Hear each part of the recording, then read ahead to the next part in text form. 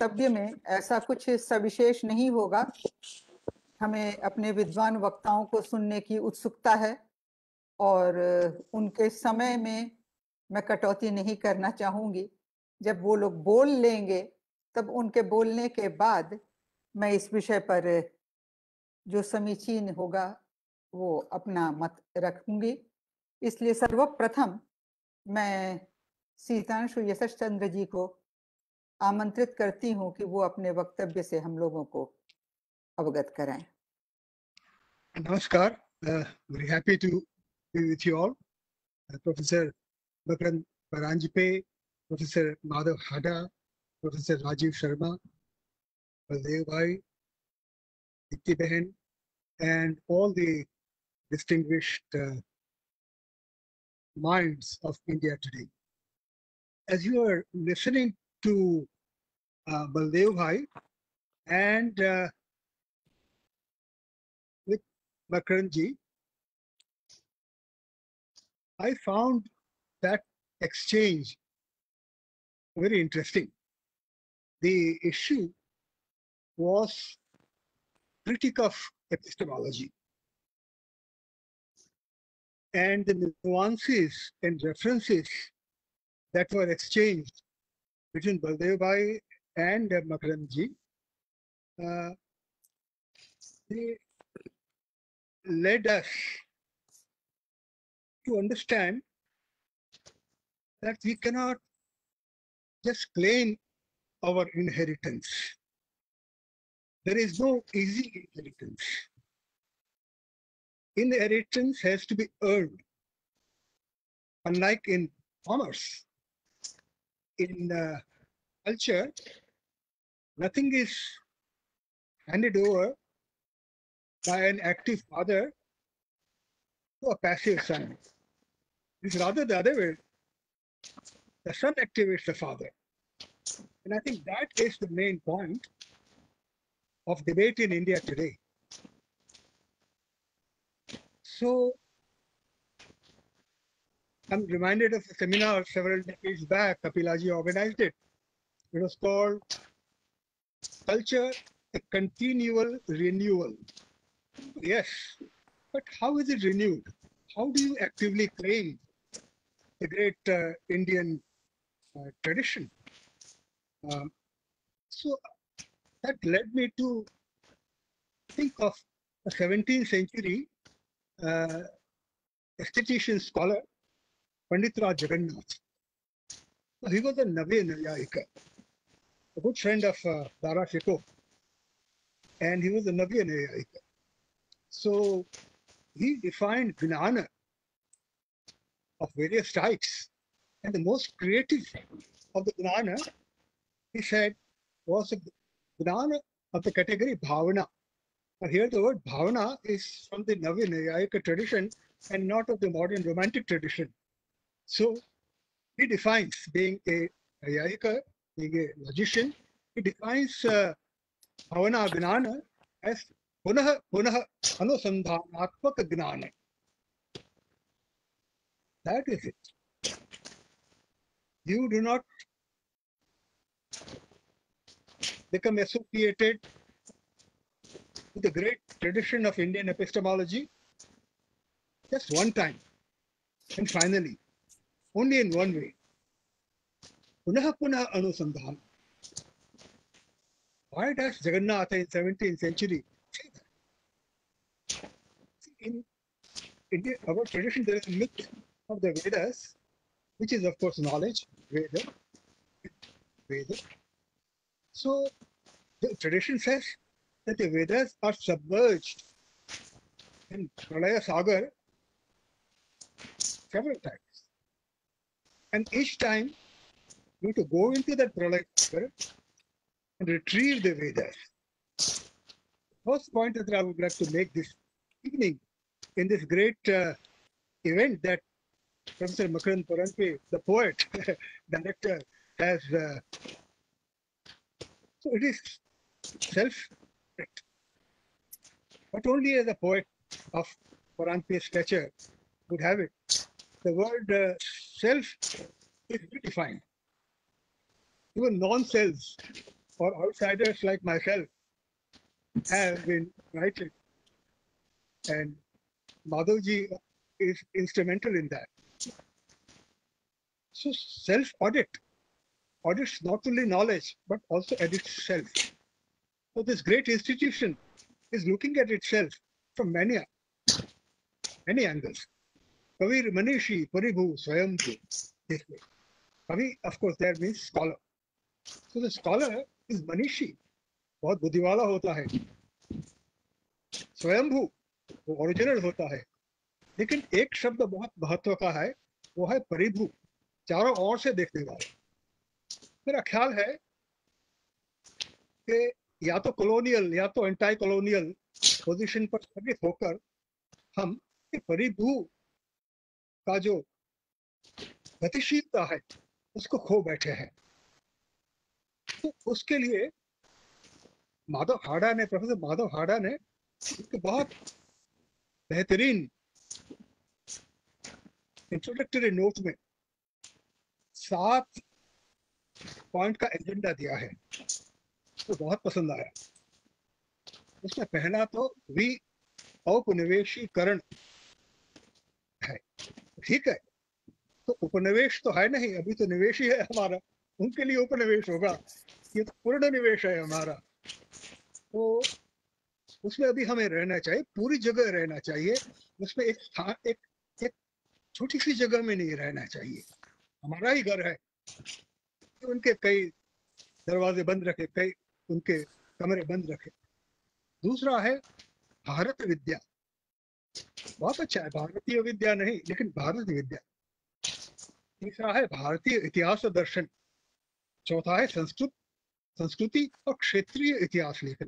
या क्षेत्रीय शब्द बहुत अच्छा है। इसके बाद है, भारतीय भाषाएँ और उनका साहित्य और अनुवाद।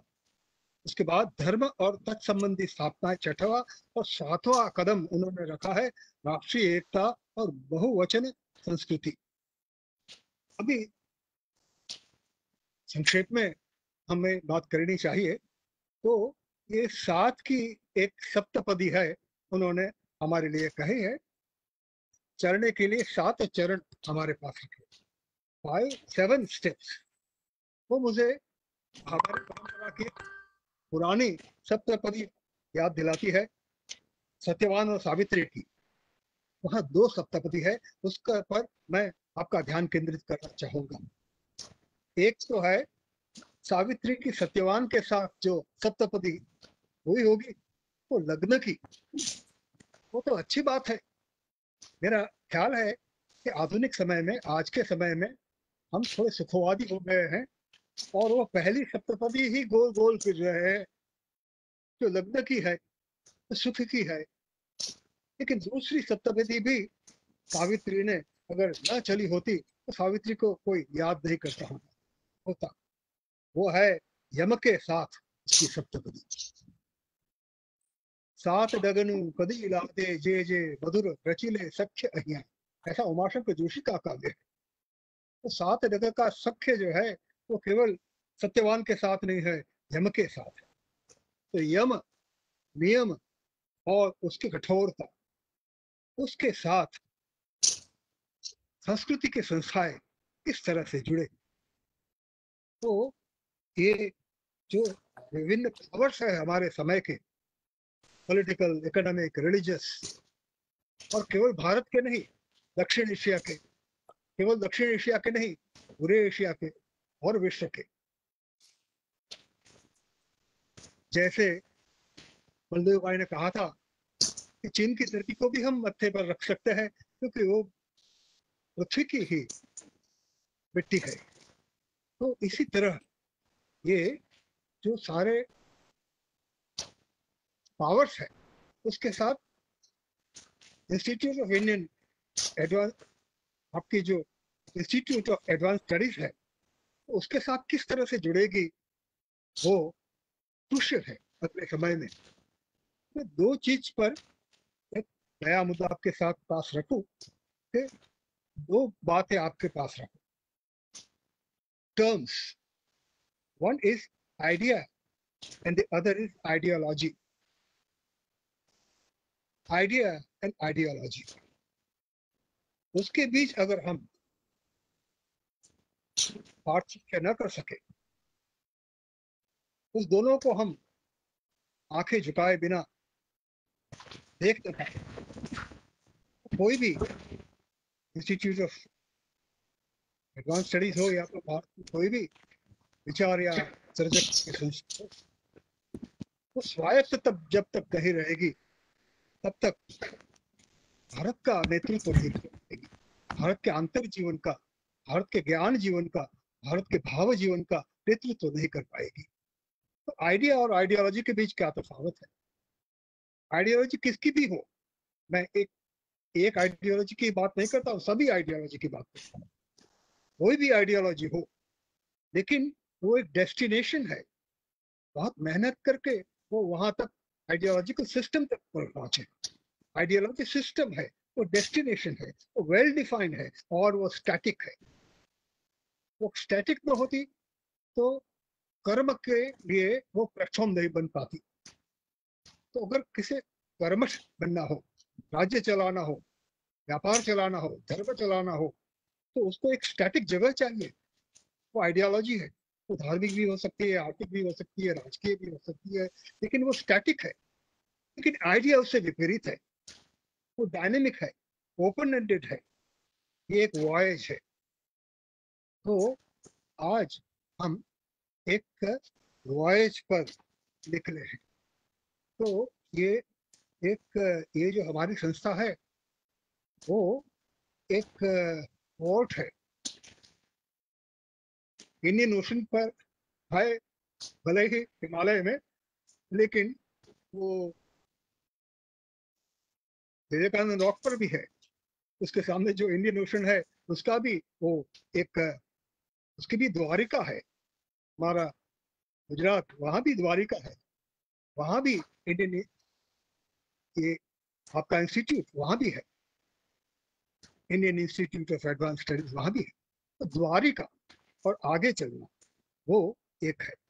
तो इसके लिए जो हमें तीन भी मिनट में समाप्त करूँगा, लेकिन तीन बात ध्यान में रखने का एक नया मुद्दा आपके पास में रखी। वो है Indian institute of advanced studies का एक बहुत बड़ा और बहुत अच्छा कवि नेतृत्व कर रहा है अभी। तो उसके पास तीन चीज़ें हैं। Objective objective means and methods epistemology या एस्थेटिक्स विचार या सौंदर्य या आनंद की मीमांसा करने वाली कोई भी संस्था हो। यह साधन और पद्धति। तो होता है क्या कि आज के भारत बहुत बहुसंख्य संस्थाएँ, विद्या की और ऐसी तो मीन्स से शुरू होती है। साधन लाओ पहले। साधन लेने के लिए वो तीन सप्ताहों के पास जाना पड़ता है। फिर तो वो अपनी शर्त रखेगी। तो फ़र्स्ट स्टेप जो हमारी सप्तपदी है, अभी त्रिपदी पर आ गए हम लेकिन त्रिपदी गलत है हमारी। हमारा पहला कदम मीज से होता है। साधन, संसाधन आदि की प्राप्ति। वो तो ब्राह्मण परंपरा की बात हुई, आरण्य परंपरा की नहीं। उपनिषदों तो आरण्य परंपरा से आते हैं। और लोकेशना का त्याग किए बिना कोई भारतीय बन सकता है क्या? यानी विचारवंत बन सकता है क्या? ये दो आवेशना का त्याग करना इसका ही अर्थ है कि ये त्रिपदी का प्रथम पद संसाधन नहीं होना चाहिए, लेकिन ध्येय होना चाहिए। तो ध्येय भी तो आइडियोलॉजी वाला नहीं आइडिया वाला।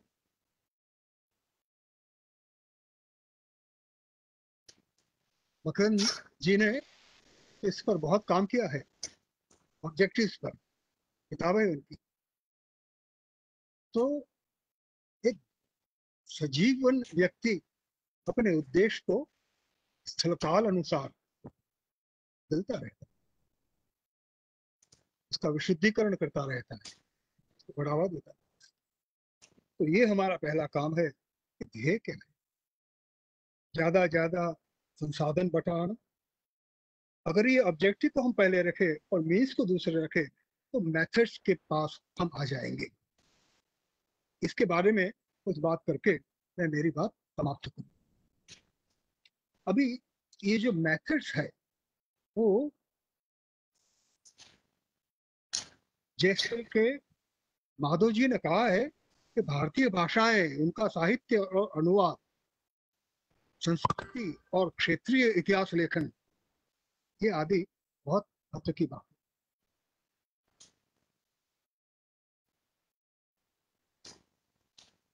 हेलो?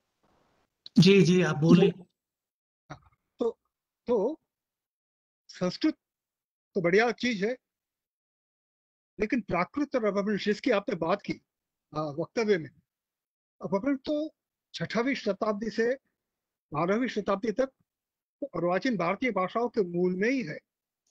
राजस्थानी या हिंदी या गुजराती बारहवीं, तेरहवीं शताब्दी से नहीं शुरू होती है। तो उनका सबका अपना अपना अपभ्रंश है। अपभ्रंशेन तुष्यंती स्वेन नान्यन गुर्जरा, ऐसा हमारे पर आरोप भी है। तो पूर्वांचल का अपभ्रंश है। अक्षर बाड़ा स अलजऊ, नाई निरक्षर कोई तालग अक्षर भोल जाई निरक्षर होई। ऐसा तो कानफटा बावा सरहपात बोलता था। तो उसमें से कबीर आया है। हजारी प्रसाद ने बहुत उसकी ज़िक्र की है। तो पूर्वांचल का उपवंश है, उत्तरांचल का है, दक्षिण पथ का है, उत्तर का है, वो उपवंश को और हस्तप्रत पढ़ने वाला कोई बचा नहीं है। अगर हस्तप्रत इतनी जगत में सबसे समृद्ध हस्तप्रत संग्रह गुजरात और राजस्थान आदि में पूरे भारत में है। लेकिन गुजरात और राजस्थान में तो अधिक ही है। तो हस्तप्रत पढ़ने वाले कोई नहीं है। तो अपभ्रंश और प्राकृत और अलबत् संस्कृत और अनुवाद। तो अनुवाद, हिंदी के माध्यम, हिंदी अनुवाद के लिए बहुत बढ़िया भाषा बनी है अब। मुझे गर्व है। लेकिन हर भाषा अनुवाद के लिए इतनी ही बढ़िया बननी चाहिए और अपना अपना संसाधन जाना चाहिए हमें।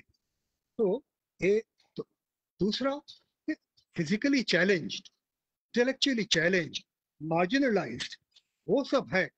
उसके लिए भी ये उनकी भी भाषा है एक। मेरी लड़की वो स्पीच चैलेंज है काफ़ी है उसको। लेकिन हम हमारे कला, कला को घंटों तक हम बातें करते रहे टेलीफोन पर।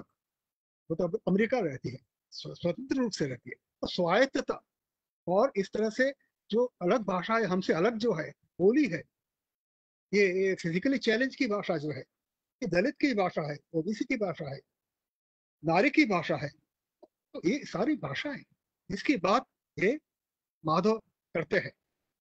तो समापन में मैं कहूँ कि प्राचीन की बात करने से प्राचीन अर्वाचीन नहीं होगा। हम प्राचीन हो जाएँगे उसमें किसी का भला नहीं है प्राचीनों का भी भला नहीं है। उनको भी हमारा सहवास, ऐसे सेल्फ डिसिप्लिन बिना के जो हम हो गए हैं।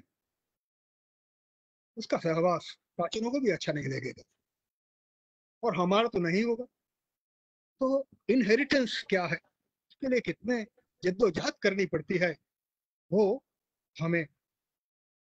तो अंत में मैं कहूँ वो बोएथियस जो था ना कॉन्सोलेशन ऑफ़ फिलोसफी वाला तो उसको तो राज्य सत्ता ने तुरंग में डाला और मार ही डालने वाले थे। तब सेम फिलोसफी उसके पास आई और कहा कि भाई, ये तू जो ग्रंथ है, उसका एक ही भाग, पन्ना का एक ही भाग पड़ता है। पूरा पन्ना खोल दो, पूरा ग्रंथ खोल दो। तो पूरा ग्रंथ तो हमें खोलना पड़ेगा, हमारे पूर्वज ने आकर नहीं खोलेंगे। पूरा ग्रंथ खोल दो।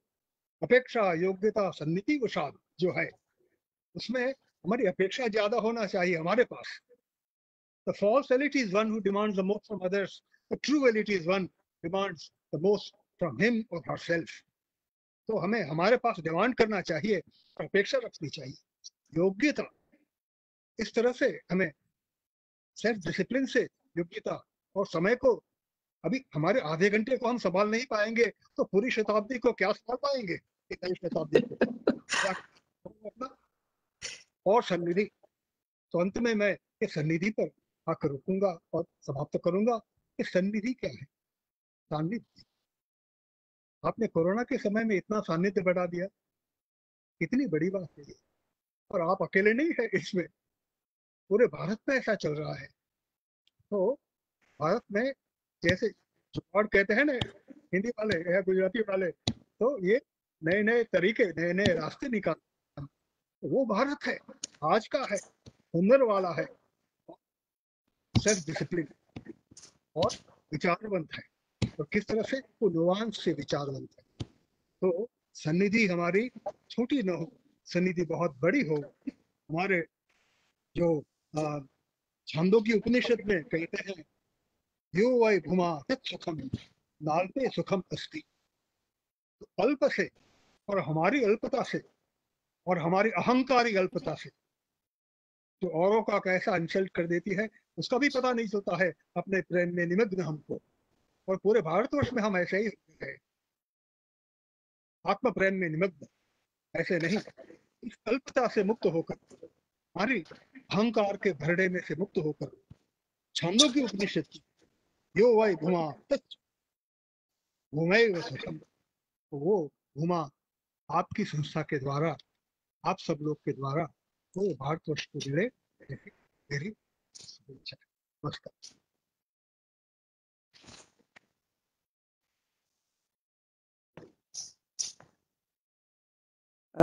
बहुत बहुत आभार शीतांशु जी। यथा नाम, तथा वचन। आपको आपके वचनों में गांधीर्य भी था और विस्तार भी था और सूत्रबद्धता भी थी। उनमें से तत्व निकालने के लिए अत्यंत अभिनिवेश की आवश्यकता है। तो मेरा ख्याल है कि हम आने वाले समय में उस पर अभिनिवेश भी करेंगे, विचार भी करेंगे और मकरंद परांजपे जी के जैसा कवि हृदय प्रशासक है तो वो उसमें से कुछ के कार्यान्वयन का यत्न भी करेंगे। लेकिन इसके पहले कि मैं आपके वक्तव्य पर कुछ अपना मंतव्य कहना चाहूँ। मैं ये बेहतर समझती हूँ कि अगले वक्ता को मैं आमंत्रित करूँ ताकि उन्हें पूरा समय मिल सके अपना वक्तव्य रखने का, अपना मंतव्य हम तक पहुँचाने का। तो अत्यंत आदर पूर्वक श्री प्रफुल्ल केतकर जी को आमंत्रित करती हूँ कि वो अपने वक्तव्य से हमें अनुग्रहित करें।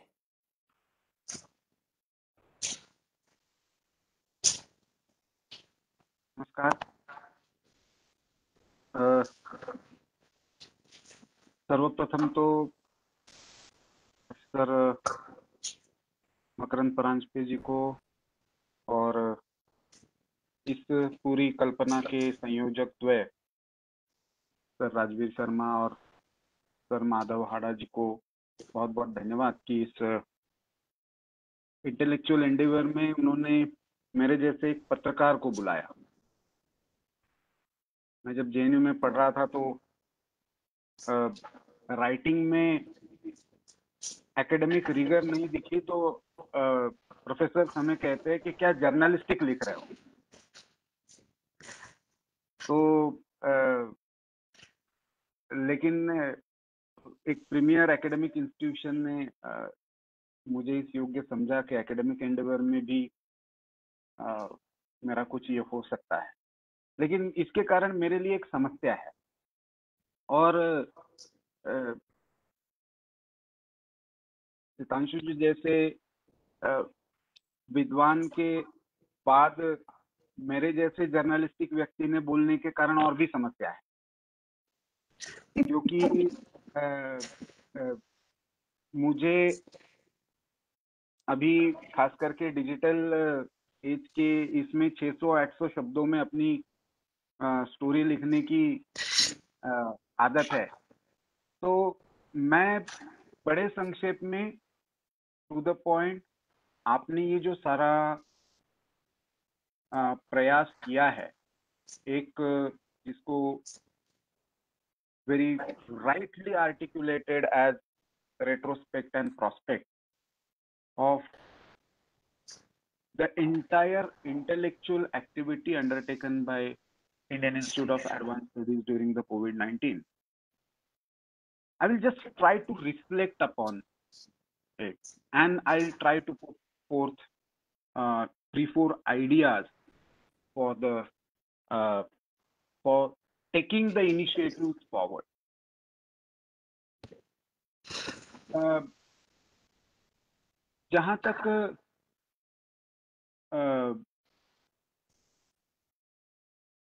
रेट्रोस्पेक्टिव ओवरव्यू की बात है तो I think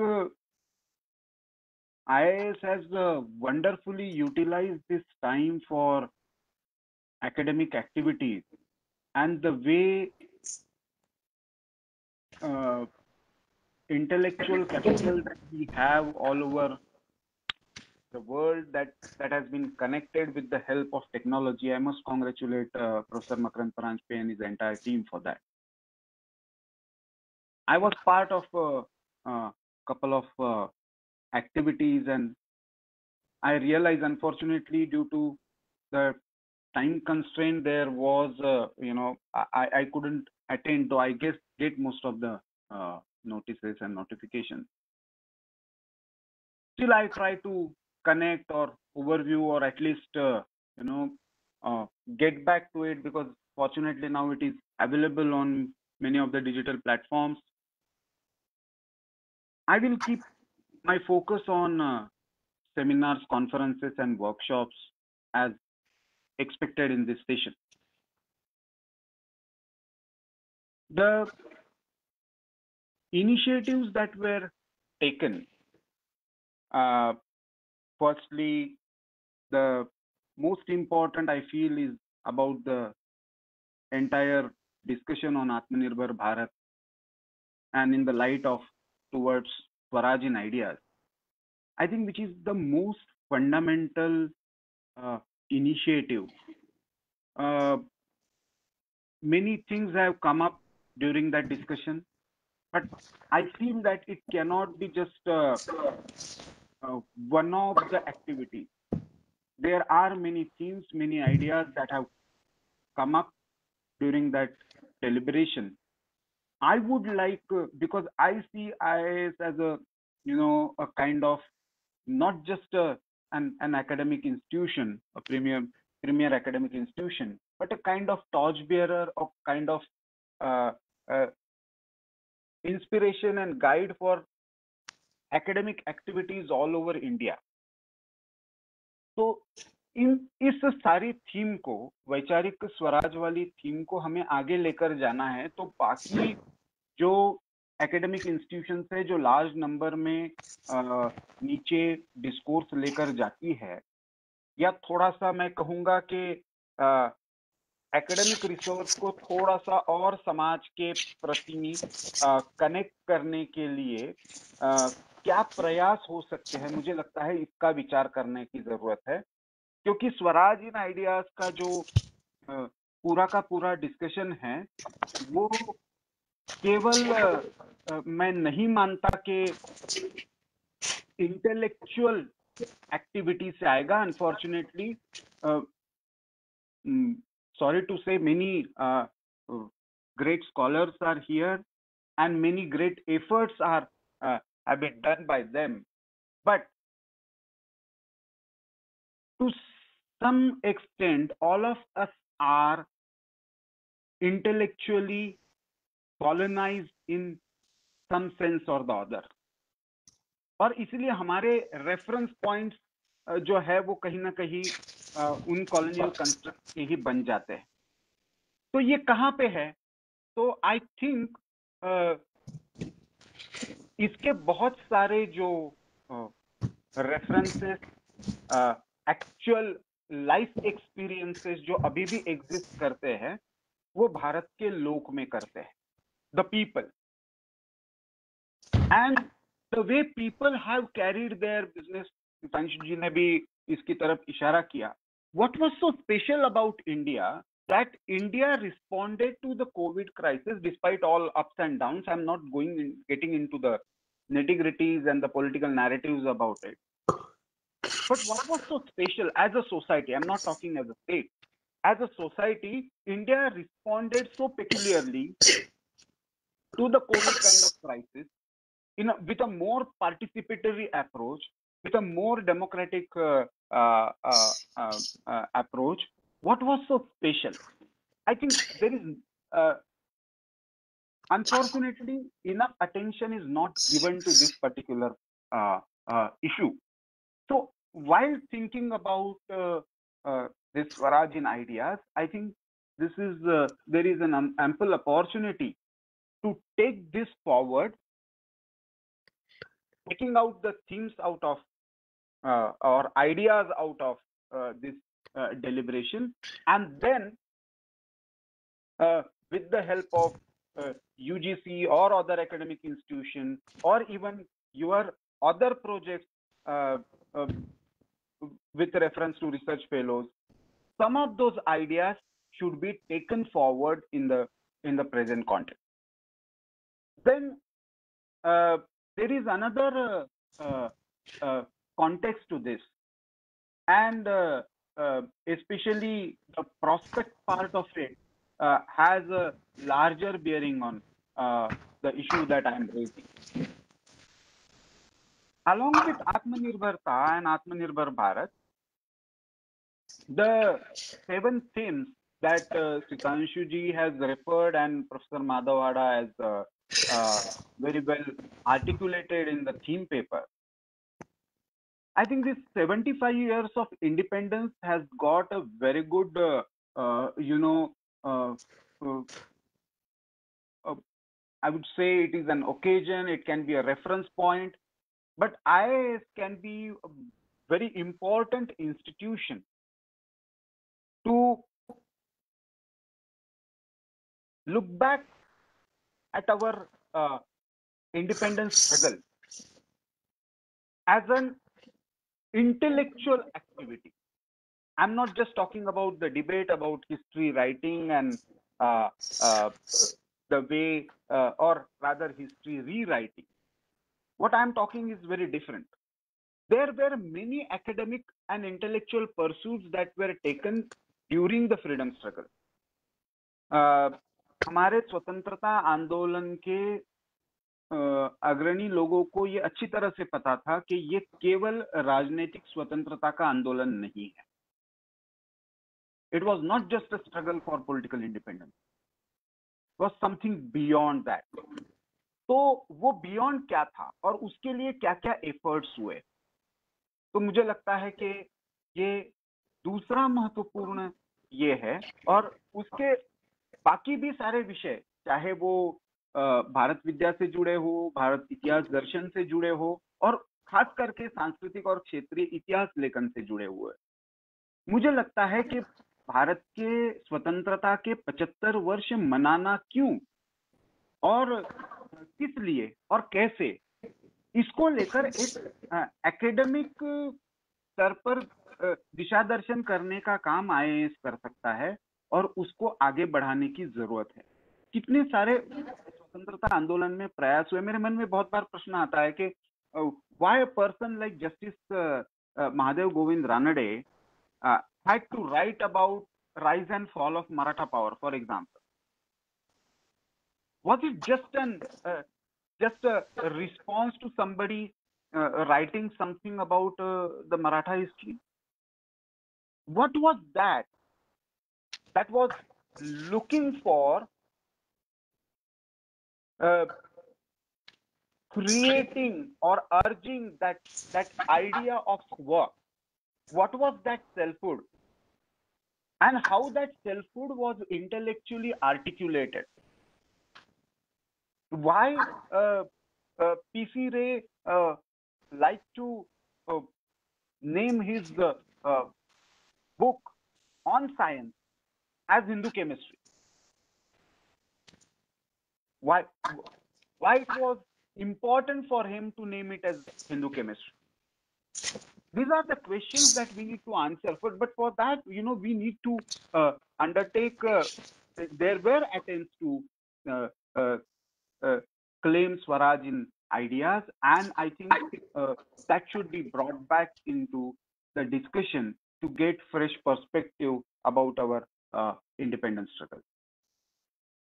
Then there is uh, another aspect, as I mentioned, uh, about uh, this uh, entire effort of इसको हाड़ा सर ने सांस्कृतिक और क्षेत्रीय इतिहास लेखन कहा है। इसमें भारत का लोक अपने आप आता है द पीपल भारत ने अपने आप को कभी भी राजनीतिक व्यवस्था केंद्रित नहीं देखा। भारत ने अपने आप को एक जियो कल्चरल कॉन्टेक्स्ट में एक एंटिटी के रूप में देखा। और इसीलिए राज्य व्यवस्था अलग अलग होने के बाद भी कुछ फंडामेंटल कंसेप्ट जो थी स्व के बारे में भी अपने बाहर के पूरे विश्व और ब्रह्मांड के बारे में भी और इसके आपस में संबंध के बारे में भी। कुछ फंडामेंटल कॉन्सेप्ट कुछ फंडामेंटल मूलभूत धारणाएँ जो थी वो समान थी जिसने भारत को भारत बनाया और इन धारणाओं का एक तरीके से आविष्कार कहीं ना कहीं स्वतंत्रता आंदोलन में हमें होता हुआ दिखता है right from I, I will not go into the uh, pre-European colonization. The nature was different. The uh, uh, the response was different. But European colonisation जो भारत में हुआ उसके संबंध में भी यदि हम देखते हैं तो right from 1498 to 1947 there were various attempts to articulate the idea of Bharat and I think we need to revisit that. Interestingly, it has come from different uh, geographical and cultural context in the present uh, terms, but the responses or the content of those responses were uh, almost the same. मुझे लगता है कि उसको भी थोड़ा सा uh, आगे बढ़ाने की uh, आवश्यकता है इसके आगे का मैं जो बिंदु कहूँगा वो आपने जो सात बिंदु आने वाले समय के लिए रखे हैं उससे थोड़ा सा हटकर है या आगे जाकर है मैं कहूँगा। क्योंकि हमारे संबंध में मतलब धर्म और तत्संबंधी जो स्थापनाएँ हैं उसको आज के कॉन्टेक्स्ट में आ, सारे सेकुलरिज्म के डिबेट को लेकर ये चर्चा करने की आवश्यकता है ही। भारत की एकता और बहुवचन संस्कृति को भी इस परिप्रेक्ष्य में एक तरह से भारतीय संकल्पनाओं के आधार पर रिविजिट करने की आवश्यकता है।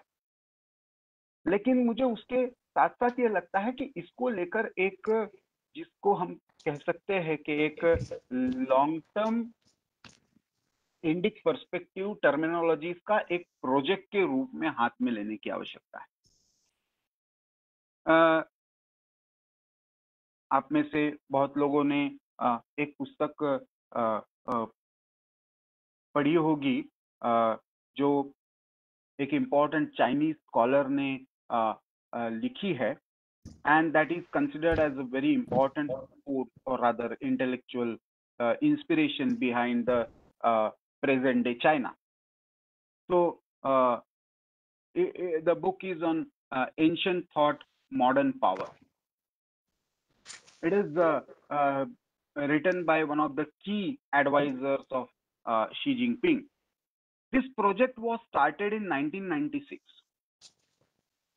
and uh, uh, analyzing seven dynasties of, of China and the thinkers behind those dynasties, uh, how the, the how, how China perceives itself as a modern power. उसका एक बहुत लंबा विश्लेषण उन्होंने वो शुरू में तीन साल के प्रोजेक्ट में, बाद में आगे जाकर सात साल तक उसका एक एकेडमिक जिसको हम कह सकते हैं कि रिस्ट्रक्चरिंग जो हुआ इंटरनेशनल रिलेशंस और सारे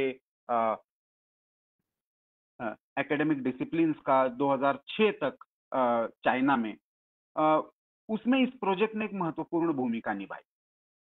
बहुत बार आज हम चर्चा करते हैं सुपर पावर वर्सेस विश्व गुरु लेकिन उसके कंटेंट को लेकर मुझे लगता है कि व्हाट इज़ दैट विश्व गुरु status and why it is different from the super power status how India should and how India can attain that status इसको लेकर मुझे लगता है कि पर्याप्त एक इंटेलेक्चुअल uh, डिस्कशन uh, अभी हुआ नहीं है। और वो करने की आवश्यकता है there cannot be better platform और institution than I to take this idea forward एक और बिंदु जो इसमें मैं uh, जोड़ना चाहूँगा कि वेदर बी लाइक इट और नॉट आपके सातों बिंदुओं से वो इन अ वे कनेक्ट करने वाला है लेकिन फिर भी उसका एक अपना अलग महत्व है।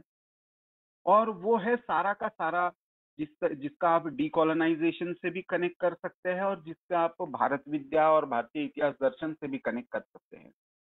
वो मुझे लगता है अंतरराष्ट्रीय स्तर पर आज जो सारा डिबेट जो चल रहा है, वो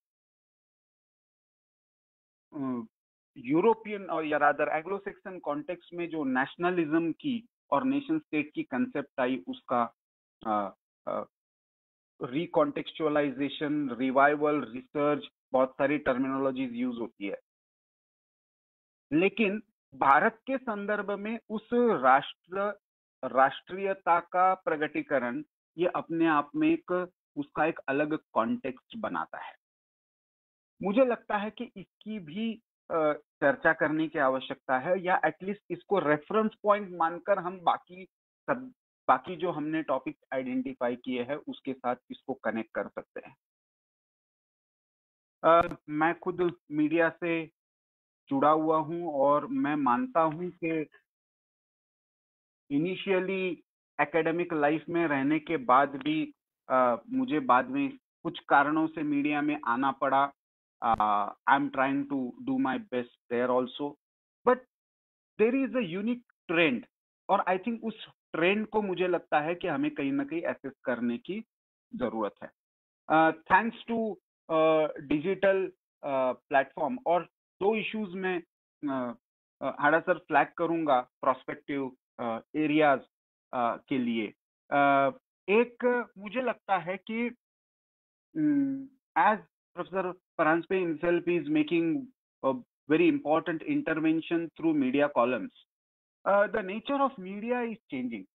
Digital platforms के कारण the news content is consumed at the uh, uh, uh, at the digital level, but because of that, the print media is getting more into uh, either uh, investigative and to extent even research uh, oriented uh,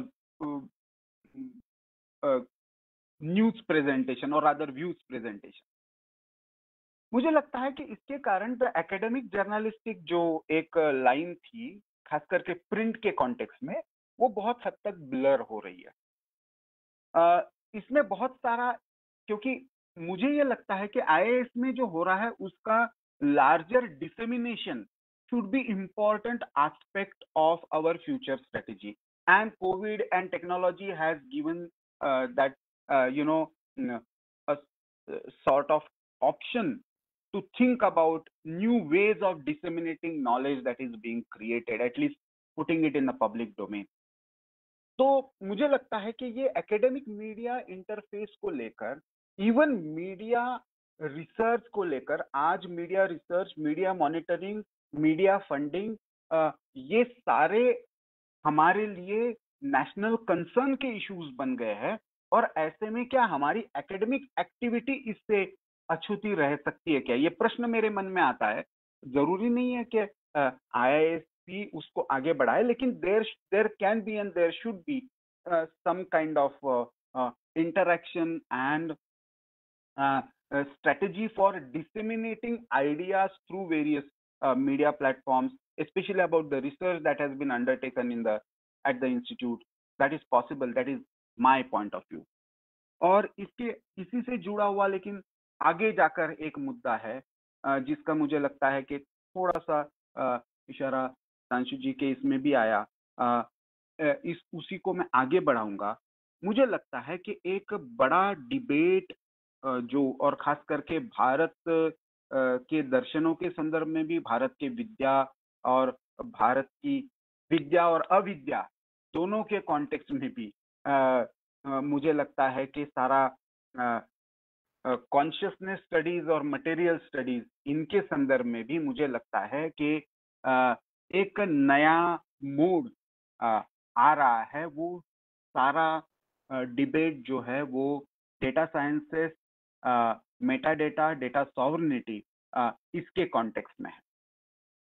और if we really want to uh, remain academically relevant और हमारे resources uh, सही जगह और सही कार्य के लिए जिसका कोई ना कोई जिसको हम कह सकते हैं अ, मैं प्योरली मटेरियल या बिहेवियरल अप्रोच के रूप में तो नहीं सोचूँगा कि अ, इसकी यूटिलिटी क्या है इसके ऑब्जेक्टिव आउटपुट क्या है लेकिन जिसका मैं कहूँगा कि आज के जो पब्लिक कंसर्न्स है उसके साथ कहीं ना कहीं कनेक्ट है।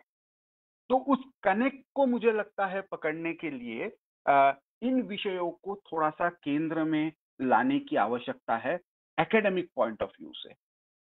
तो सॉर्निटी की कंसेप्ट ही पूरी तरह से कैसे चेंज हो जाएगी और हो रही है इसके साथ साथ ग्लोबल कॉन्टेक्स्ट में सारा का सारा जो कॉन्शियसनेस और सबकॉन्शियस सारे बिहेवियरल को बिहेवियर को इन्फ्लुएंस करने का एक किस तरीके से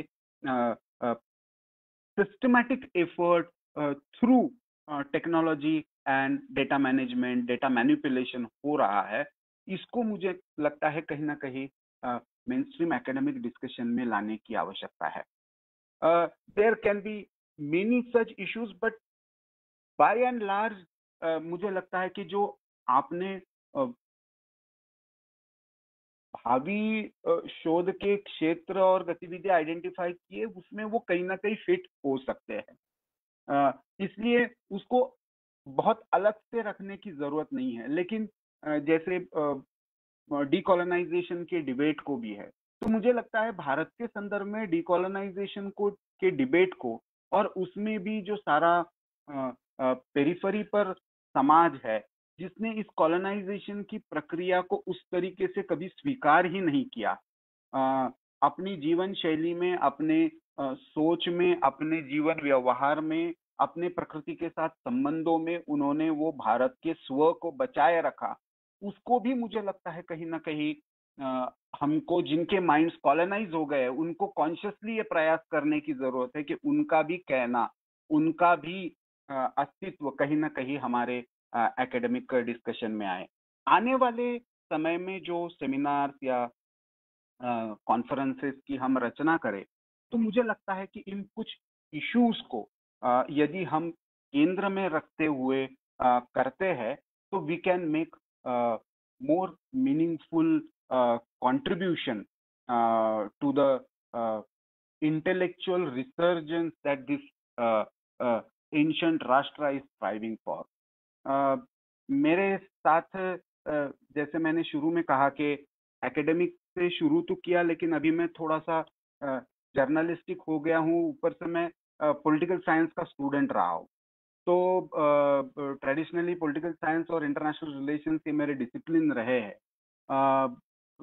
तो मुझे ये लगता है कि इस संदर्भ में सारे सारा ही जिसको हम कह सकते हैं आज के संदर्भ में जो पावर डिस्कोर्स चल रहा है पावर स्ट्रक्चर्स को लेकर जो चर्चा चल रही है, उसमें कहीं ना कहीं हमारा एक एकेडमिक और इंटेलेक्चुअल आर्टिकुलेशन पॉलिटिकल लेवल पे और स्टेट और गवर्नमेंट के लेवल पर जो हो रहा है वो हो रहा है। लेकिन उसको मुझे लगता है कि हम पर्याप्त तरीके से भारत की दृष्टि से नहीं ला पाए हैं, भारत के लोगों की दृष्टि से भी नहीं ला पाए हैं।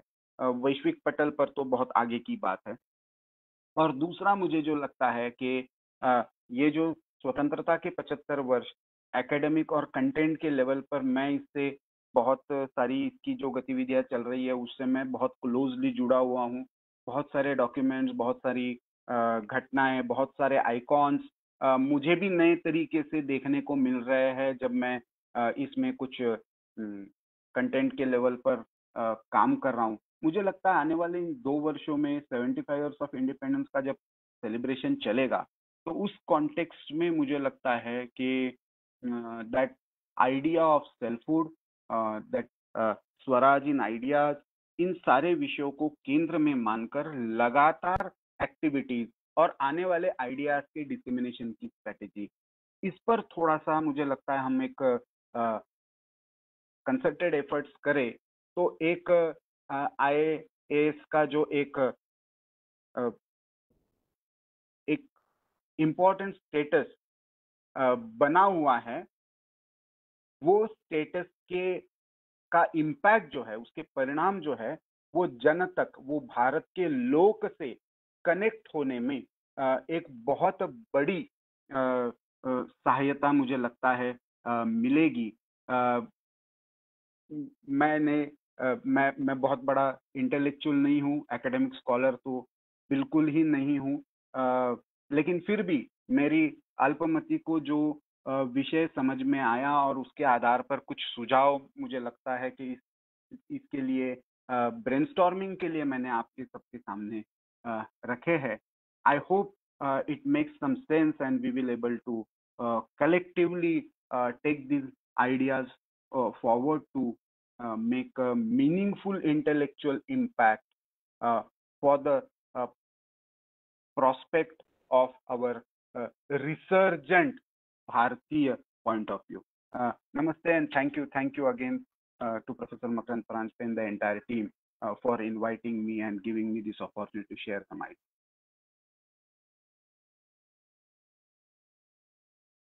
दीदी मैं दो दो शब्द कह सकूँ?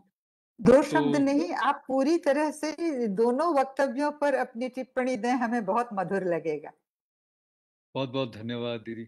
नहीं मैं थोड़ा सा आतुर था क्योंकि दोनों वक्ताओं को सुन करके मेरे मन में इतने विचार आए। तो सबसे पहला विचार तो मुझे मेरा शुक्रिया अदा, धन्यवाद अदा करना है, क्योंकि जिस मकसद से हमने इस चर्चा का आयोजन किया था, संगोष्ठी का, वो मुझे लग रहा है कि अब सार्थक हो रही है, क्योंकि ऐसे विचारक और ऐसे विचार जब हमारे समक्ष आते हैं तो हमें मजबूर करते हैं उन बिंदुओं पर सोचना। गहरा चिंतन जो राधा कृष्णन जी का दरअसल आदेश था, इंस्टीट्यूट की स्थापना के पीछे वो मुझे लग रहा है सक्रिय हो रहा है। लेकिन मुझे एक दो छोटी छोटी चीज़ें कहनी है। सबसे पहले तो मैं प्रफुल्ल जी के साथ शुरुआत करना चाहता हूँ क्योंकि वी हमने जानबूझ के आपको बुलाया प्रफुल्ल जी क्योंकि एक जो पक्ष था डिसेमिनेशन वाला डिस्कशन एंड डिसेमिनेशन वाला जो पक्ष था उसके लिए we need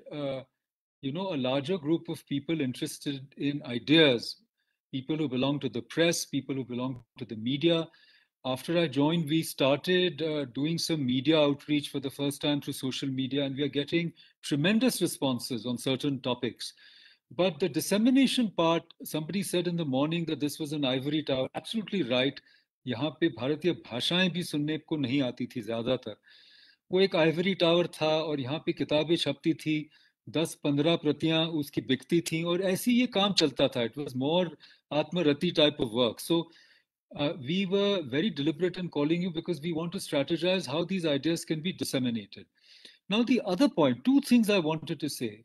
One is the idea of decolonization cannot be seen in a very narrow way. See, because you talked about consciousness, data, artificial intelligence, the world of tomorrow, the power play, China, India, some of these things I want to touch on very briefly.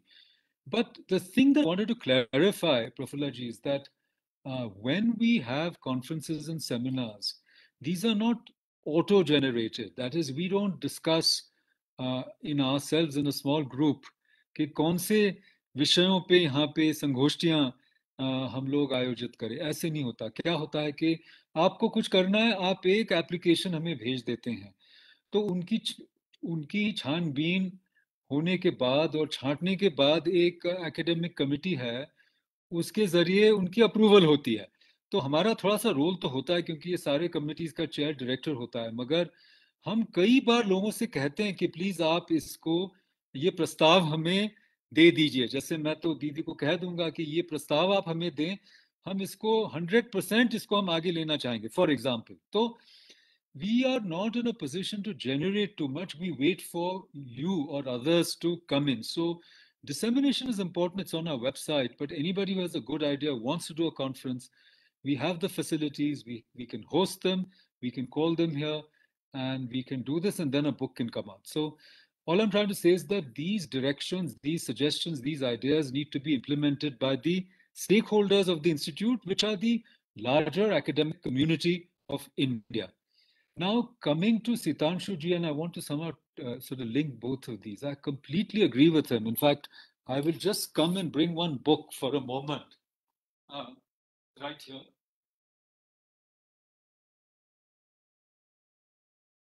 And uh, we have had many discussions on this, Sitanshu, Sitanshu and, and me over the years, that there is no cheap decolonization.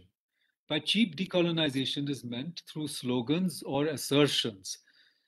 You know, the tradition belongs to he or she who knows it. I want to show you this book. You know, it is written by a foreign scholar, Peter Scharf, who was our fellow here. It's called Sanskrit Syntax. And, uh, you know, it's an extraordinary kind of book. Now, Peter Scharf was born in America, raised in Pennsylvania and elsewhere his brother somehow got involved in Indi- India and learned Sanskrit. He speaks Sanskrit fluently. And he was telling me, he was saying to me, and by the way, he's, uh, I mean, he's a Krishna Bhakt, he's a Hindu, his wife is Indian. I don't want to talk to him, talk about him personally. Please don't misunderstand what I'm saying. What he told me is that, uh, I mean, for, for me, India was a discovery, right? And when I work on India, work in India, so many people attack me saying that you should not be studying ये श्वेत लोग आके हमारा ज्ञान चोरी करके ले गए ये वो तो you see brahmavid brahmaiva bhavati you know this it has nothing to do with uh, you know any particular tribe or any particular ethnicity this is a knowledge which becomes which belongs to him or her who learns it and who practices विद्या वही है आप धारण करेंगे जैसे धर्म हम कह, कहते हैं धारण करे सो धर्म विद्या भी वैसी है उसमें इतना परिश्रम करना पड़ता है Now, I'm very glad that Sitanshu ji brought out the idea of tapasya, self-discipline, because I'm I'm sorry to say that it's not only about individuals. Our system doesn't encourage it. See, we have a systemic failure. संस्थागत संकट चल रहा है भारत में आप किसी भी विश्वविद्यालय में जाइए, जहाँ पे आपके पैसे, मेरे पैसे इस देश की पूंजी उसमें लगी है। कितने हज़ारों करोड़ों रुपए उसमें लगे हैं। लेकिन वहाँ व्यवस्था कितनी खराब है। मतलब योग्यता को कोई वहाँ पे कदर नहीं होती। ये ये हमारी वस्तु स्थिति है। I land here because I don't want to speak I just wanted to mention this book that he he brought up fantastic book you know, let's see how books like these are written. I'm, referring to the book Ancient Chinese Thought, Modern Chinese Power.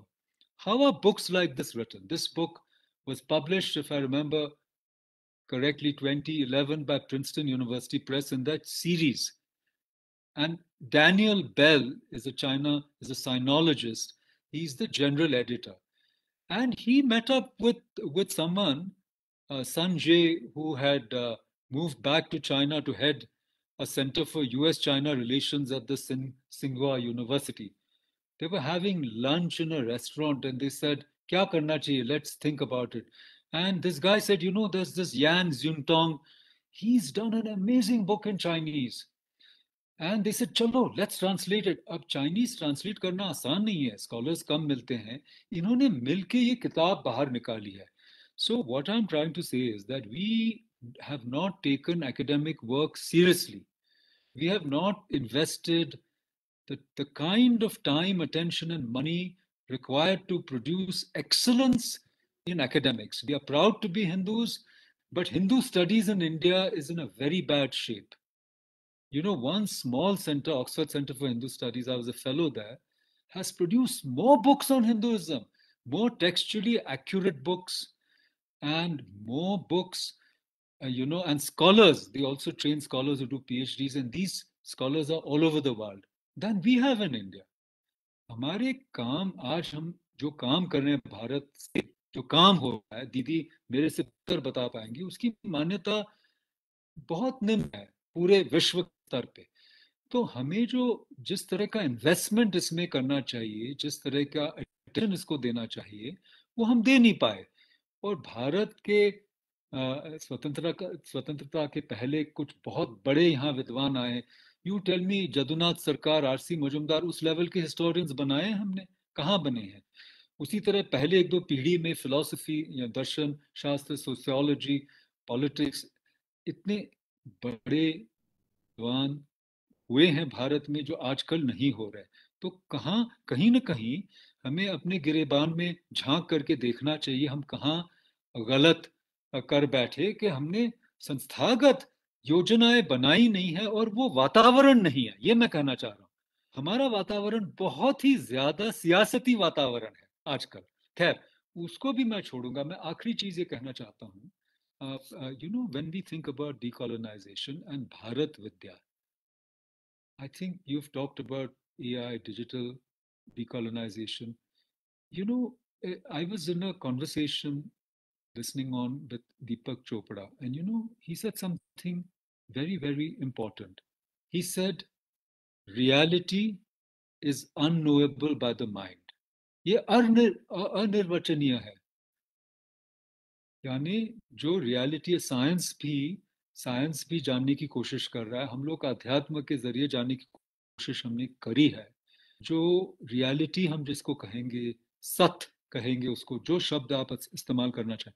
वो वो हम जो mind है, यानी जो बुद्धि है, उससे वो हम नहीं जान पा रहे हैं। ये उन्होंने कहा कि साइंस मान रही क्यों? वो कह रही है science is only making maps of reality models science एक मॉडल बनाती है। But reality is unknowable and unexpressible through any means that we know today it can only be experienced and it is not experienced at the level of merely an individual क्योंकि reality is all pervasive consciousness is all pervasive and the brain does not produce consciousness ऐसे कोई एक conversation हो रहा था जो मैं सुन रहा था तो कहने का मतलब ये है कि साइंस और scientific knowledge the epistemology, post enlightenment epistemology of science, which is based on a, a certain kind of observation, subject object duality, kuch bhi usko kahiye, instrumental rationality, we must come to a recognition it cannot understand reality. Reality can only be experienced. reality can only be experienced.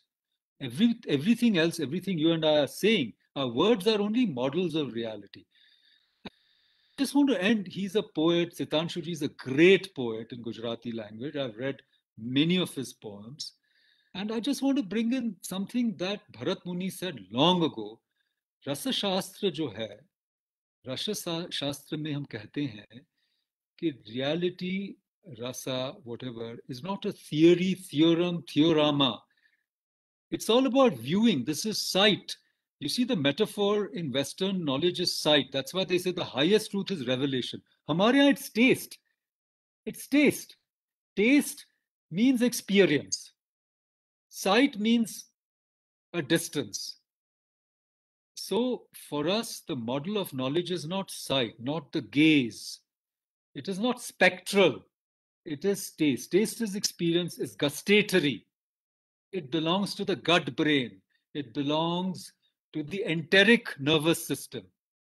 So so, मुझे सिर्फ ये कहना है कि भारत विद्या एक बहुत ही बड़ी चीज सबके लिए पूरे विश्व के लिए और मैं बार बार उस बिंदु पे इसलिए आ रहा हूँ कि जिस संकट से हम गुजर रहे हैं कोरोना तो उसका महज एक हम कहेंगे उसकी एक tip of the iceberg type of चीज़ है। कोरोना ने हमें ये सिखाया है कि एक छोटा सा वायरस हमें कंप्लीटली डिस्टेबलाइज कर सकता है।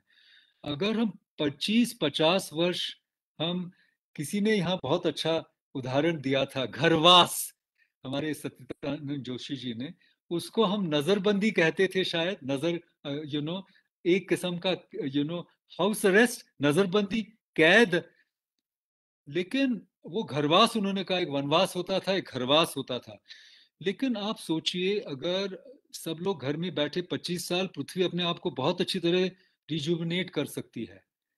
सारे पक्षी बाहर आ जाएँगे the earth will rejuvenate our consumption level will go down so there is a big crisis we are going going through we are producing twice the amount of food that is necessary to to feed 8 billion people 7.9 billion people. We have the capacity but still people are going hungry. And finally i'm going to come to this power. The last thing i want to say we have china envy in india. There is no need for it. China works in a completely different way than India. Xi Jinping, with due respect to him, is, a, is modeling himself on a Chinese emperor. We can't have that. We can't have such a centralization of power, authority, decision making, and think that by doing that we'll become more efficient.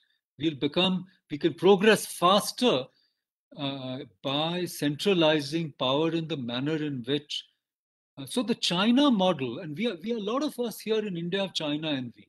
Their economy is five times ours. We want to catch up with China. We can't catch up with China in that way. इस पे बहुत गहरा चिंतन करने की आवश्यकता है। We have different strengths and we have to Swaraj said the प्रजा में जो शक्ति है प्रजातंत्र में जो शक्ति है वो राजतंत्र में नहीं है। और स्वराज का मतलब राजा सक्षम हो, ज़्यादा उसको शक्ति मिले नहीं। प्रजा को शक्ति मिलनी चाहिए। और कोरोना में ये ज़ाहिर था कि हम लोग सेकंड वेव में जो सिस्टम थी जो राजतंत्र था वो असक्षम था। लेकिन प्रजातंत्र बहुत महत्वपूर्ण था। आप एक दूसरे से पूछिए कि जब आपको ज़रूरत पड़ी, आपने किसको फ़ोन किया? आई मीन मिनिस्टर लोगों को भी बेड्स नहीं मिल रहे थे, लेकिन आपका कोई दोस्त था, मेरे अपने परिवार में मतलब एक बड़ा अस्पताल है, उस अस्पताल के मालिक का बेटा और ये एक क्लास में पढ़ रहे थे। उन्होंने बेड दिलवाया। हालाँकि उनके पिताजी डीजी थे, ये थे, वो थे, कुछ नहीं चला। वो पुरानी मित्रता, वो चलती है। तो हमारे जो आपसी संबंध है, जो हॉरिजॉन्टल संबंध है नॉट द वर्टिकल हमारे प्रजा में बहुत ताकत है। हम आज पंगु बन गए, हम सोचते हैं गवर्नमेंट सब कुछ करेगी। तो इसीलिए मैं कहना चाह रहा हूँ China and we is not the way for us and we must have a completely different notion of power in India completely different खैर दीदी ने मुझे इजाज़त दी मैंने उसका दुरुपयोग किया I am so sorry I should not be speaking the session is now open and please हमारे पास पंद्रह एक मिनट है। मैं uh, बहुत मेरे आभार व्यक्त करना चाहता हूँ सितांशु जी को। इतना अच्छा बोले और इतना संक्षिप्त रूप में बोले और uh, इतनी सटीक चीज़ें कहे गए। He is a very old friend of mine senior friend from Baroda we have a Baroda connection I am very grateful to you sir and thank you so much thank you Prafulla ji thank you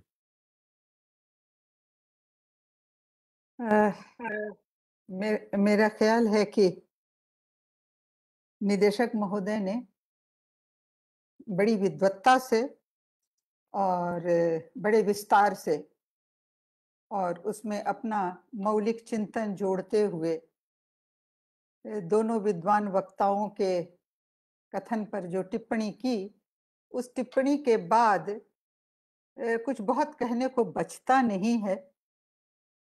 लेकिन हमारे यहाँ ये मानना जाता है कि अध्यक्ष को भी कुछ टिप्पणी करनी ही चाहिए। वैसे मैं अक्सर विनोद में कहा करती हूँ कि अध्यक्ष का मतलब होता है जो आँखों के सामने रहे, वो बोले ही ये ज़रूरी नहीं है।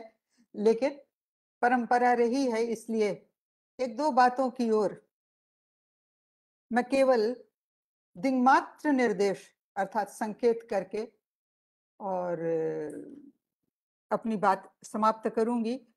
पहली चीज़ की सीतांशु जी ने जो उदाहरण दिया, कविर मनीषी परिभू स्वयंभू, ये बड़ा अद्भुत उदाहरण उन्होंने दिया है। क्योंकि इस उदाहरण के द्वारा भारतीय चिंतन परंपरा के जितने आयाम हैं वो सभी के सभी समाहित हो जाते हैं। और उसमें विद्वत्ता भी है, उसमें चिंतन की क्षमता भी है, उसमें सार्वभौमिकता भी है और उसके साथ साथ मौलिकता भी है।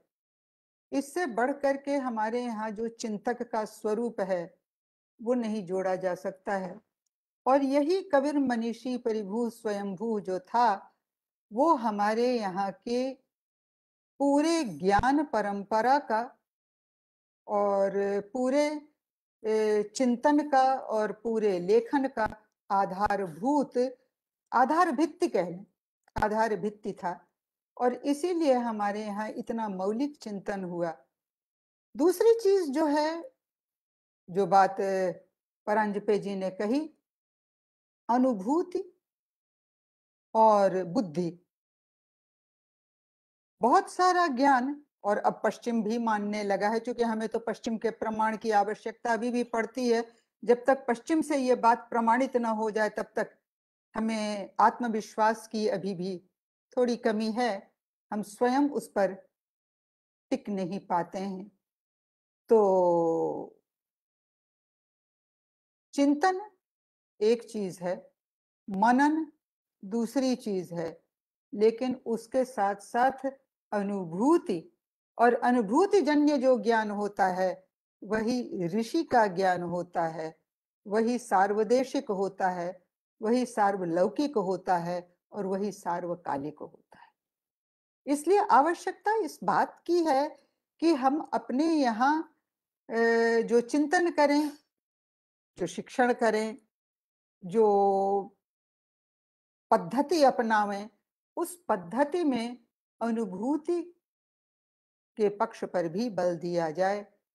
केवल बौद्धिक चिंतन को ही हम विद्वत्ता का आधार न मान लें। कहने को इस मामले में प्रलोभन बहुत है, लेकिन लोभ का संवरण करना मनुष्य की प्रवृत्ति होनी चाहिए, लोभ के वश में नहीं होना चाहिए।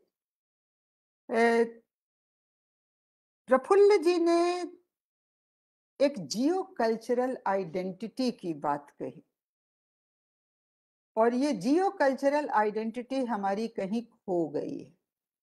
माफ़ कीजिएगा, मुझे ऐसा लगता है कि जियो कल्चरल आइडेंटिटी के साथ जो एकात्मता होनी चाहिए या जो उसके ऊपर आत्मबोध होना चाहिए या गर्व होना चाहिए, वो अभी हमारे देश में आ नहीं पाया है। कैसे आएगा? उसके लिए क्या क्या करने की ज़रूरत है? इस पर विचार करना अत्यंत आवश्यक है, क्योंकि इस प्रकार की विद्वत गोष्ठियों में चर्चा तो हो जाती है, लेकिन व्यवहार में उसका प्रभाव मुझे दिखाई नहीं पड़ रहा है।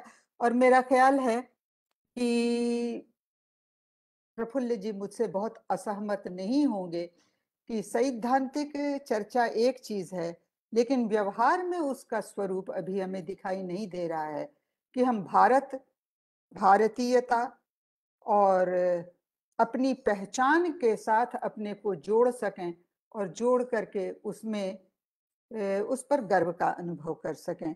उसका शायद एक कारण ये भी है कि हम क्या थे या क्या हैं या हम कैसे हैं, इसके बारे में हमें बहुत कुछ पता ही नहीं है। और यहाँ पर जो मैंने सुबह में कहा, उसके साथ मैं इसको जोड़ना चाहूँगी कि जब तक हम युवा पीढ़ी को, बच्चों को शिक्षा के माध्यम से या संस्कारों के माध्यम से उसके साथ नहीं जोड़ेंगे, तब तक वो गौरव बोध हम नहीं जागेगा। इसलिए आवश्यकता वहाँ पर जोड़ने की है। उसके सिद्धांत, उसके व्यवहार पक्ष को, उसके सिद्धांत पक्ष को विचार करना विद्वानों का काम है। हम उस पर विचार करें, उसके लिए मार्गदर्शन करें, उसके लिए राह निकालें और राह निकाल करके उस पर चलने का यत्न करें। बाधाएँ बहुत आएँगी। मैं चूँकि शिक्षा के क्षेत्र से भी जुड़ी रही हूँ, इसलिए मुझे अनुभव है कि बाधाएँ कितने प्रकार से और कहाँ कहाँ आती हैं। लेकिन बाधाओं पर विजय प्राप्त करके ही मनुष्य वस्तुतः विजयी होता है। और मेरी ये आस्था है कि देर से ही सही। हमारी संस्कृति ऐसी है, हमारे संस्कार ऐसे हैं, जो अभी सुषुप्त अवस्था में हैं, जो हमें हारने नहीं देंगे और कभी न कभी उस विजय के मार्ग पर आगे बढ़ने में हमारी सहायता करेंगे। बहुत बहुत धन्यवाद। और आप सब लोगों का बहुत बहुत आभार हाडा जी संयोजक हैं मैं उनसे निवेदन करूँगी कि वो आज के वक्ताओं का आभार प्रदर्शन करें और मुझे दिखाई नहीं दे रहे हैं अभी। है, मैं दिख रहा आप चिंता मत करिए नहीं नहीं दिखाई राजवीर जी दिखाई नहीं दे रहे हैं इसलिए कहा। हाडा जी तो दिखाई दे रहे हैं वो तो सामने हम बैठे हुए हैं। हम दोनों एक ही आप चिंता मत करिए। तो आप दोनों से निवेदन है कि आप विद्वान वक्ताओं का आभार प्रदर्शन करें।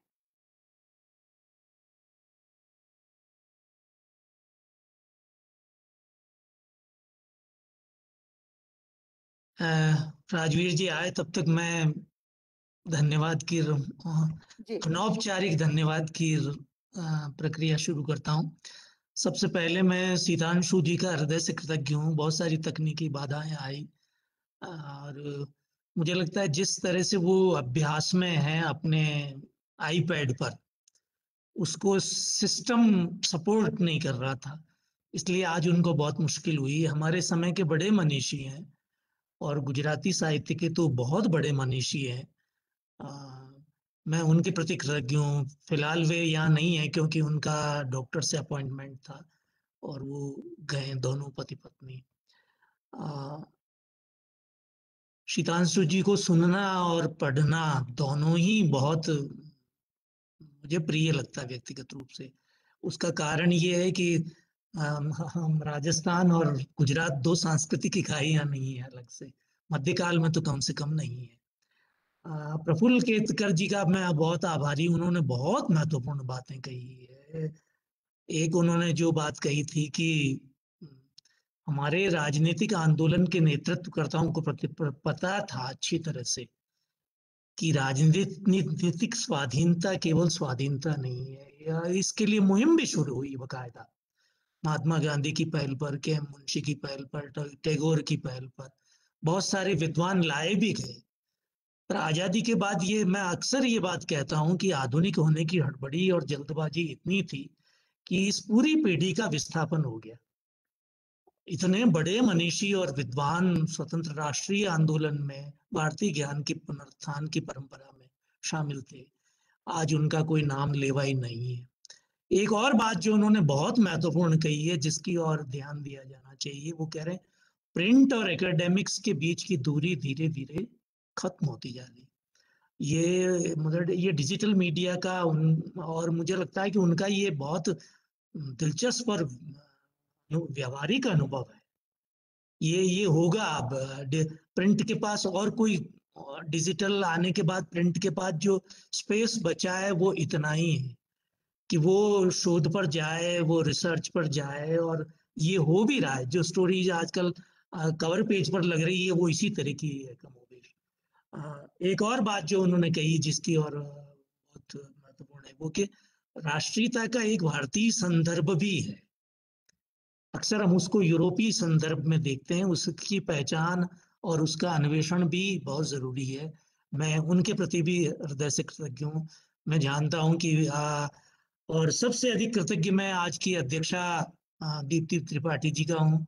हमने पूरे दिन उनको कष्ट दिया है। आ, वे विदुषी हैं और हर बार हमारे अनुरोध पर आती हैं। मैं उनकी सराहना, उनके विद्यार्थी, उनके शोधार्थी यहाँ हैं और हम दोनों घनिष्ठ मित्र हैं तो उनसे प्राय सुनता रहता हूँ। वो अक्सर कहते हैं कि वो इतनी सख्त हैं कि इतनी अनुशासित हैं कि उनसे बहुत कुछ सीखा जाना चाहिए। मैं आपको प्रणाम करता हूँ और आपके प्रति कृतज्ञता करके ज्ञापित करता हूँ। और मैं अगले सत्र की कार्यवाही के लिए माननीय दाता राम जी पुरोहित को आमंत्रित करता हूँ कि वे पधारे।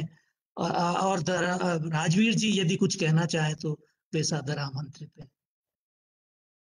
सर सर, आप professor Sharma, please please introduce the next session. And the only thing I want to say एक ही चीज़ कहना चाहता हूँ मैं कि सुधीर सिंह जी और अंजलि जी को, आई एम सॉरी, हम आधा घंटा लेट चल रहे हैं, लेकिन हमने सवेरे के सत्र में ही अनाउंस कर दिया था तो if it is are late by half an hour. And also, uh, हरा साहब अगर सितांशु जी दोबारा कल या परसों आना चाहें तो प्लीज़ उनको uh, हमारी तरफ़ से उनको दोबारा आमंत्रित कीजिए क्योंकि हम उनसे और सुनना चाहेंगे और तरह अगर प्रफुल्ला जी भी समय निकाल के आए किसी भी सेशन में ओपन सेशन भी होगा आखिरी दिन शनिवार के दिन या कल भी किसी भी सत्र में आज के वक्त आना चाहे तो दे आर वेरी वेलकम तो I add my word of thanks to everyone and I request to special professor Tripathi ji I request I request Bajir ji to please take over and initiate the next session with with the two speakers and Professor Dataram Purohiji, who is our uh, national fellow as well. Thank you, sir. Thank you.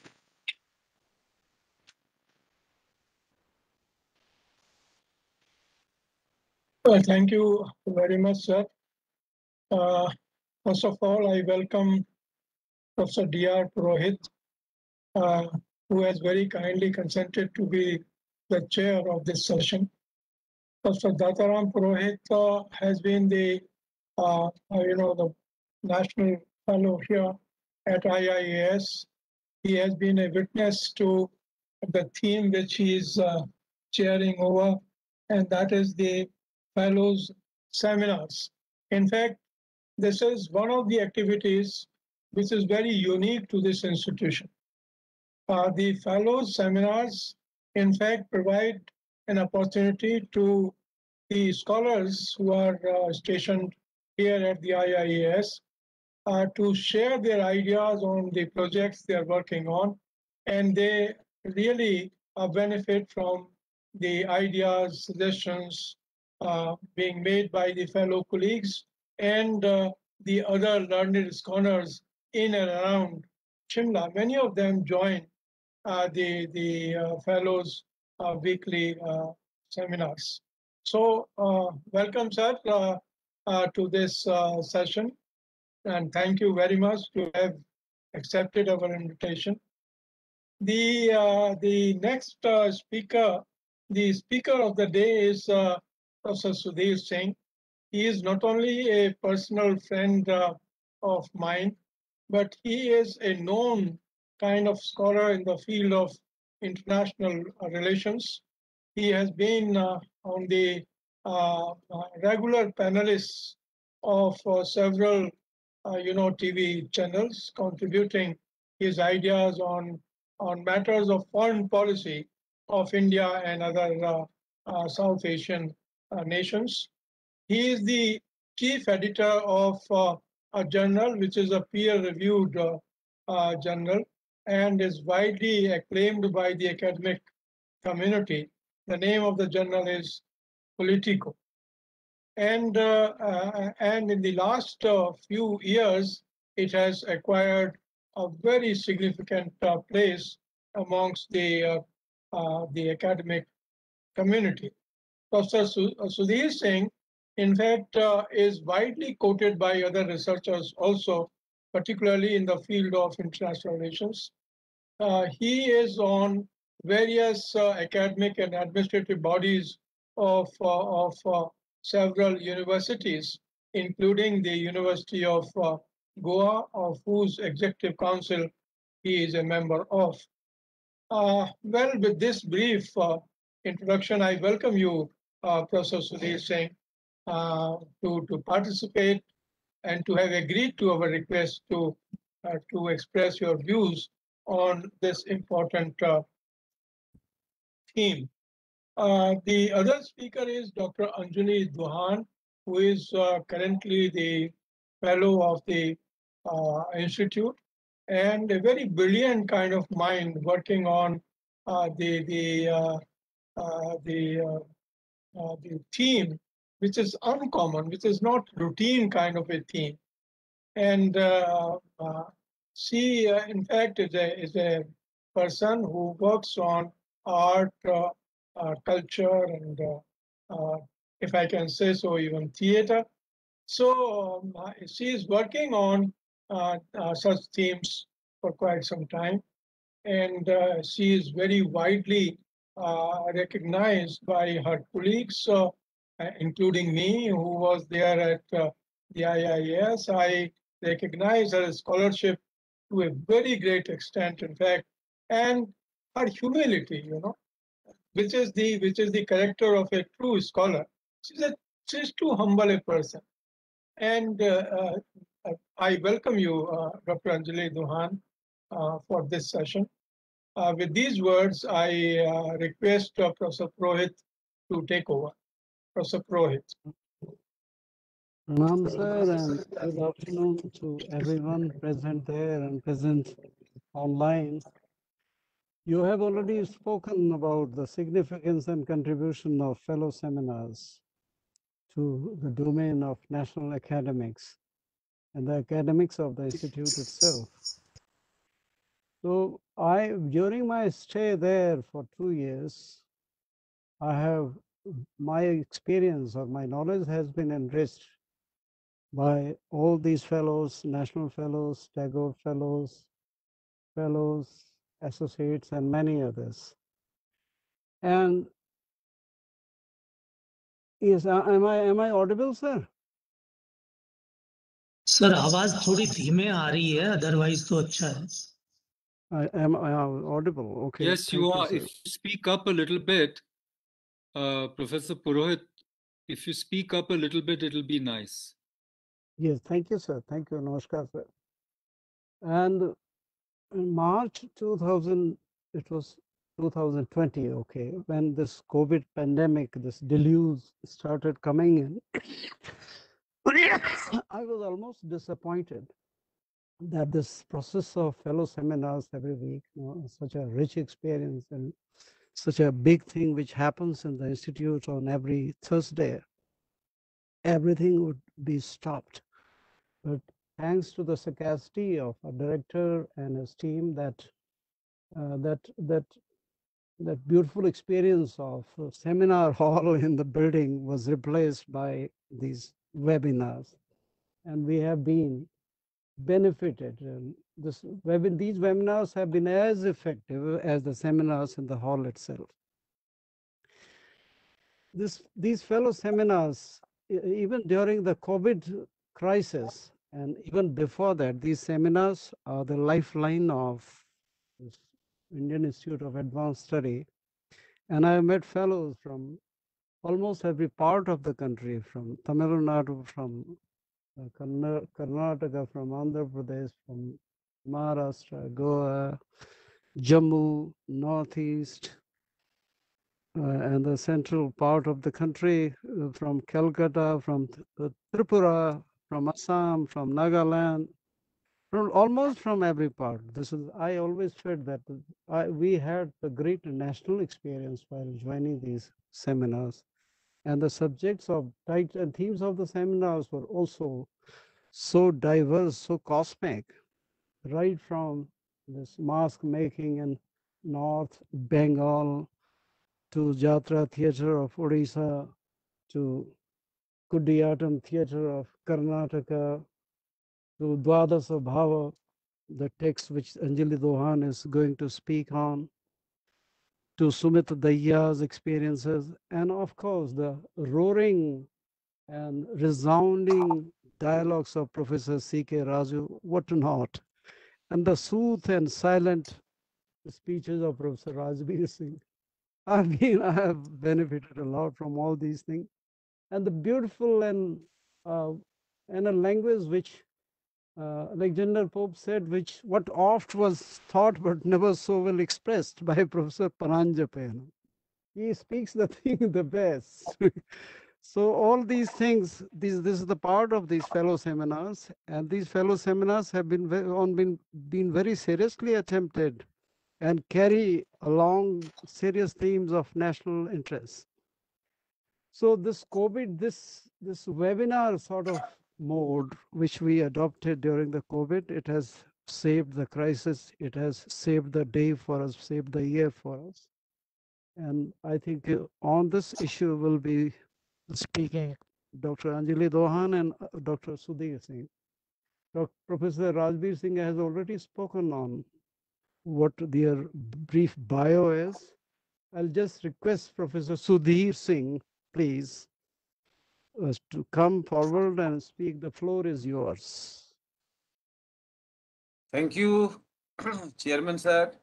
At the outset, I am extremely thankful to uh, Indian Institute of Advanced Studies and particularly Professor Rajbir Sharma ji for this uh, kind opportunity.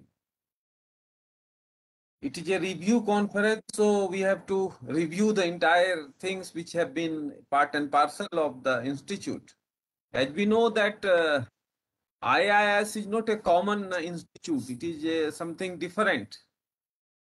So something different must be reflected from action also.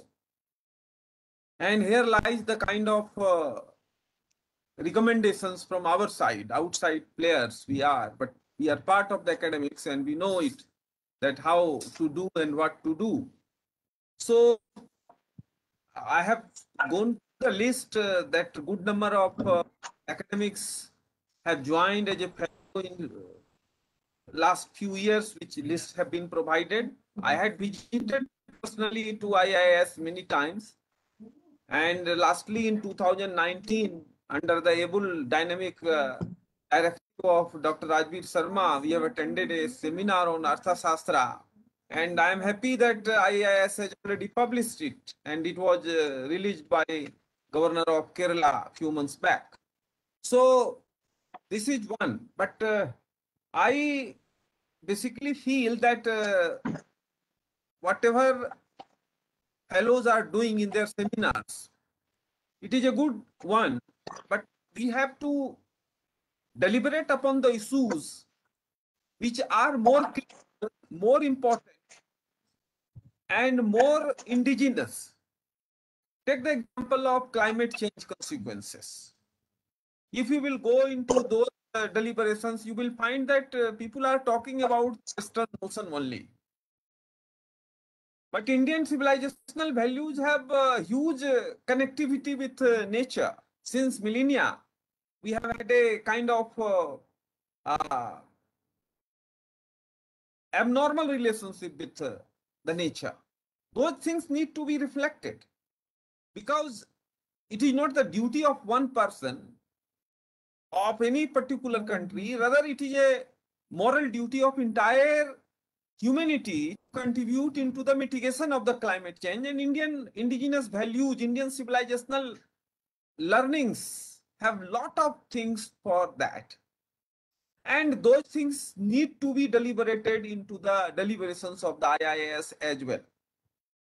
Likewise, I feel that ancient Indian values which are coming from Vedas, Mahabharata, Ramayana, and Arthashastra, and so on and so forth, have not been duly uh,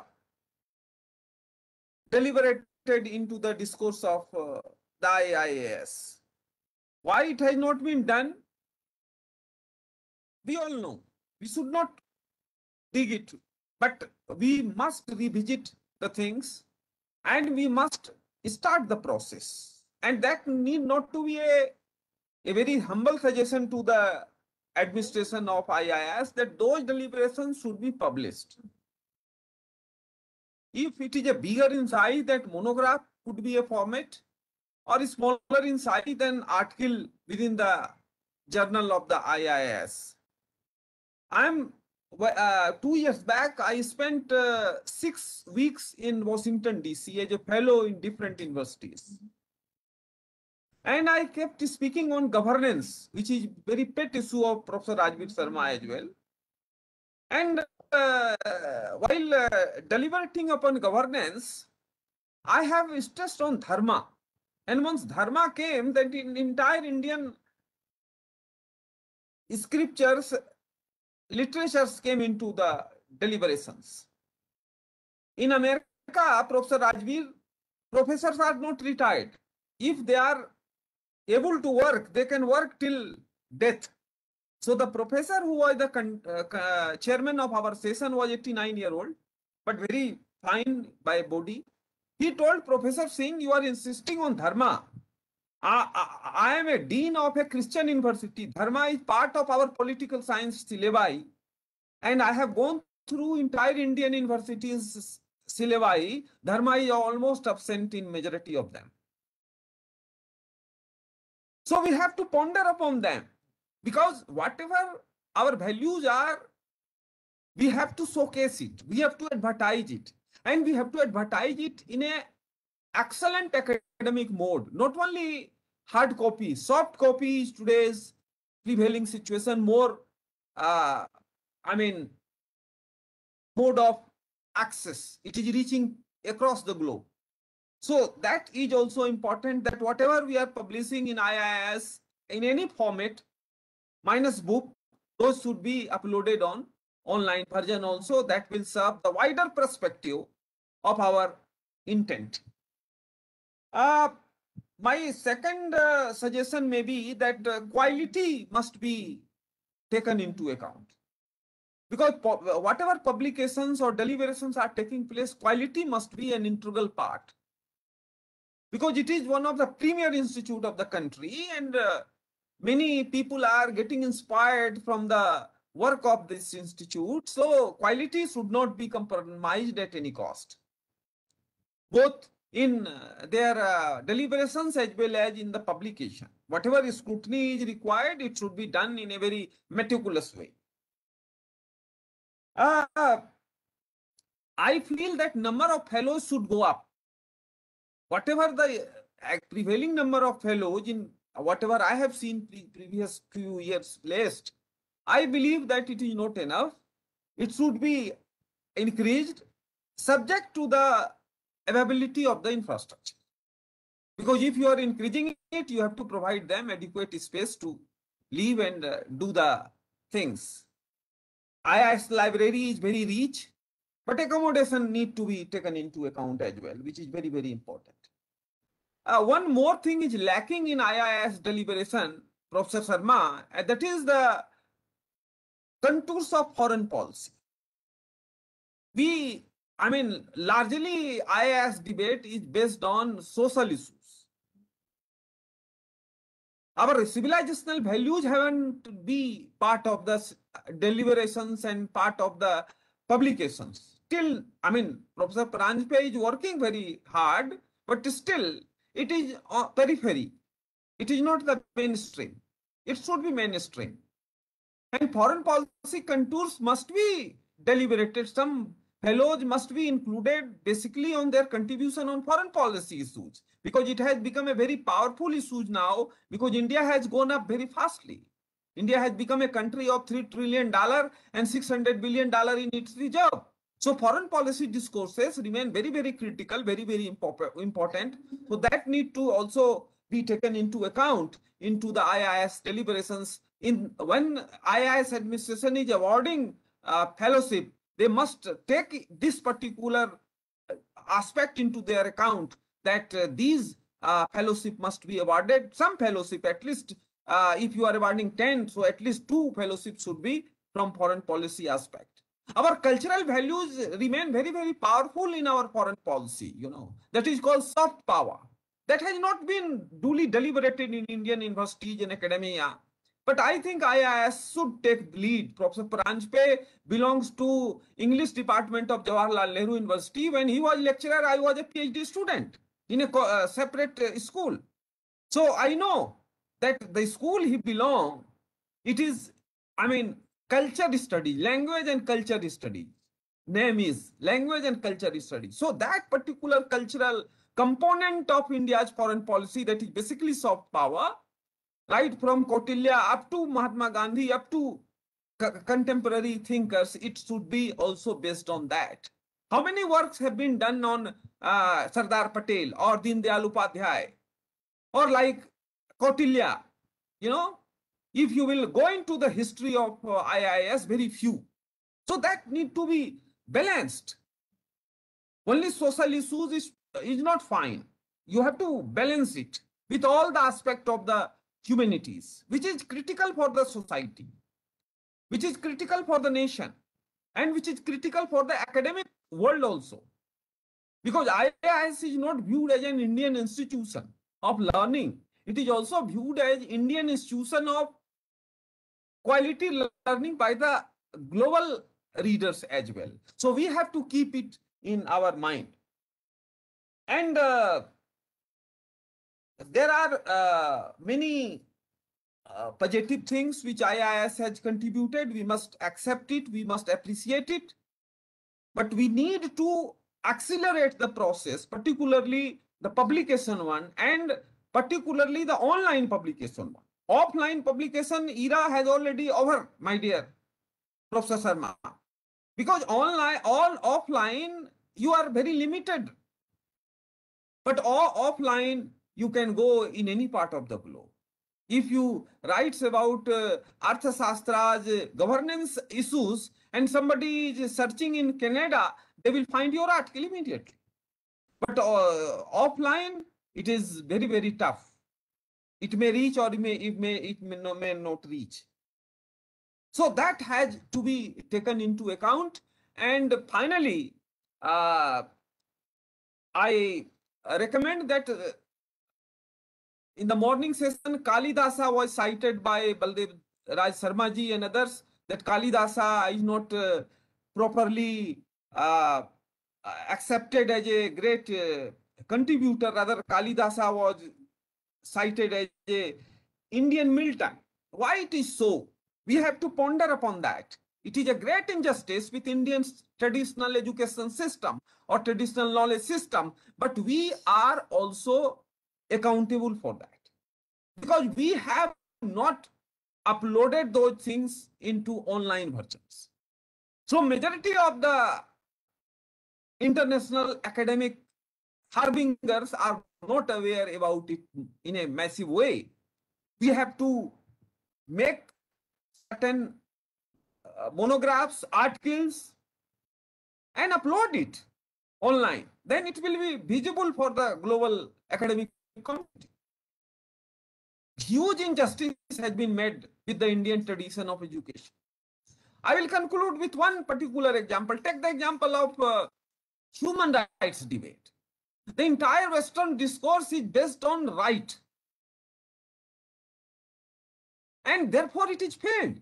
When Mahatma Gandhi was approached by human rights uh, council, and Mahatma Gandhi wrote them back two pages he gave. On that, I mean, his suggestion was included into the final declaration of Universal Declaration of Human Rights. once it was implemented on 10th of December 1948 it was not included as the main covenant of the human right because Gandhi was insisting for duty-based human right. And modern regime of human right is right-based one.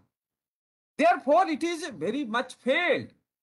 It is very much failed. So we need, we need to, uh, we need to take care of it. We need to be very, very prompt. We have in, in our heritage we have enormous literature about duty-based human rights, but unfortunately, due to different uh, obvious parochial regions, our academic community has not often citing those things. I as take a lead. I am very grateful to Professor Paranjape because under his dynamic leadership, whatever I am suggesting, many suggestions have already incorporated into action. But Professor Pranjpe, I suggest you to accelerate the process. Because since last 60 years, nothing has been done within the ambit of the IIS for these cardinal Indian civilizational values. So I believe that IIS has enough space to contribute into the academic world and IIS may be one of the biggest contributor into these uh, high academic uh, deliberations which will put India as real Vishwaguru. Thank you very much.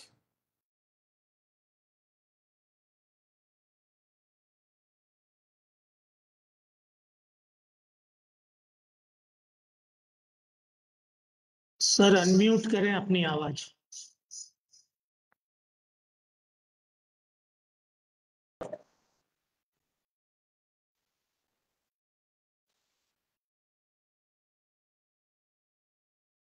आवाज़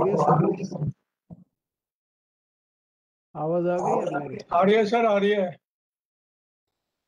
professor Sudhir Singh जी को बहुत बहुत शुक्रिया कि आपने बहुत कुछ कहा कि आई इसमें क्या हो रहा है और क्या और होना चाहिए। बहुत अच्छी बात है। Many others will learn but not happening but I partly agree with you whatever you said is not happening I think there is lot more is happening and we will i think one of us will help you in locating what all has been done there either on kalidas or on foreign policy so that is there. I have seen these books there. Uh, Thank you so much, but your knowledge and your uh, reach is so, so comprehensive, so extensive. Uh, Thank you for your great scholarship. And now I request Dr. Anjali Duhan, one of the rarest scholars of Indian Institute of Advanced Study, working on a book, Dwadas Bhava, which was originally in Sanskrit, but which has been lost. And she has located the Parsi translation of the book, and from that Parsi translation, she is relocating the, the, the theme of the book and recontextualizing the entire book in Indian historical or cultural background. That is a great contribution. So Anjali ji is a is a is a great scholar, and I've seen she doesn't speak much, but she observes things very minutely, very cautiously, and her, her questions generally shocked us whenever she asked. her. We never expected such minute observation during our presentation. So Anjali ji, you're welcome. Please put forth your presentation. Thank you so much, sir. Thank you so much, Professor Paranjpe, Professor Purohit, Professor Sharma for giving me this opportunity to express and share my experience of the fellows seminars, the most significant aspect of the academic life at the IIS. The Indian Institute of Advanced Study is the premier institute of higher education and research in the social sciences and humanities in the country, and I am deeply honored to be part of such great institution. I joined the institute on 1st of August 2019, and I have recently submitted my monograph on an imperial Mughal manuscript called the Dwadas Bhav, which was produced for Mughal Emperor Akbar. It is an illustrated Persian translation of a Sanskrit text, which is assumed to be lost. The text, the paintings, both of them are not published. However, I have been able to trace the Sanskrit story and the contents of its paintings. The text also includes very prominently in, in, in the paintings uh, the Nath yogis. For nearly eight months of my tenure, I have experienced the rich and stimulating academic environment of the Institute, where fellow seminars were weekly held physically. It was a significant formal platform for fellows, academic engagement, which enabled most of us to develop a greater understanding of our works, allowed us to extend our projects to other areas of knowledge, and learn from the scholarship of other scholars and the fruitful discussions we had afterwards. These seminars were also open to other scholars at the Institute, associates of the Inter-University Center and faculty of Himachal Pradesh University. The onset of COVID also took its toll on us. Many of our senior most fellows only briefly returned to the Institute. We note with great, like, it was also a personal sorrow that one of our TEGO fellows, Professor Vijay Ramaswamy, who left for Delhi just before the lockdown, was taken uh, severely ill a couple of months later and passed away in she passed away in June 2020. She was a senior scholar of international repute. She was also my study mate. As a person, Professor Ramaswamy was caring, vivacious, and brave, and her death is a personal loss for me. At the professional level, due to COVID 19, the physical organization of the fellow seminar was not possible, and we promptly moved to the online mode. Obviously, initially, we faced slight glitches. Initially, we began on Zoom and later shifted to Cisco WebEx, but it also gave us an opportunity to learn a new set of technologies. But I must emphasize that the rich and stimulating academic environment that we savored during the earlier physical sessions continued here too. The research that was presented was rigorous and riveting. Questions even sharper, and the observations and suggestions were insightful, informative, and highly useful. Further, this online mode allows us greater greater accessibility and several of us fellows were able to join the seminars even on days when they had taken a leave and also when they had completed their tenure. In this regard, I must mention the names of Professor Chahal and Professor Patel, who keenly shared their observations even after returning back to their hometowns.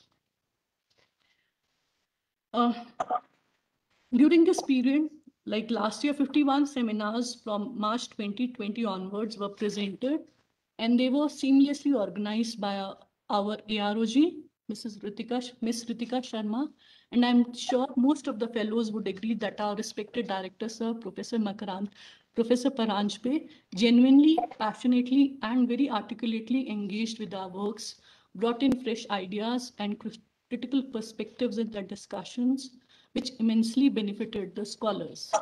Now I'll share a gist of the research of few of my fellow colleagues.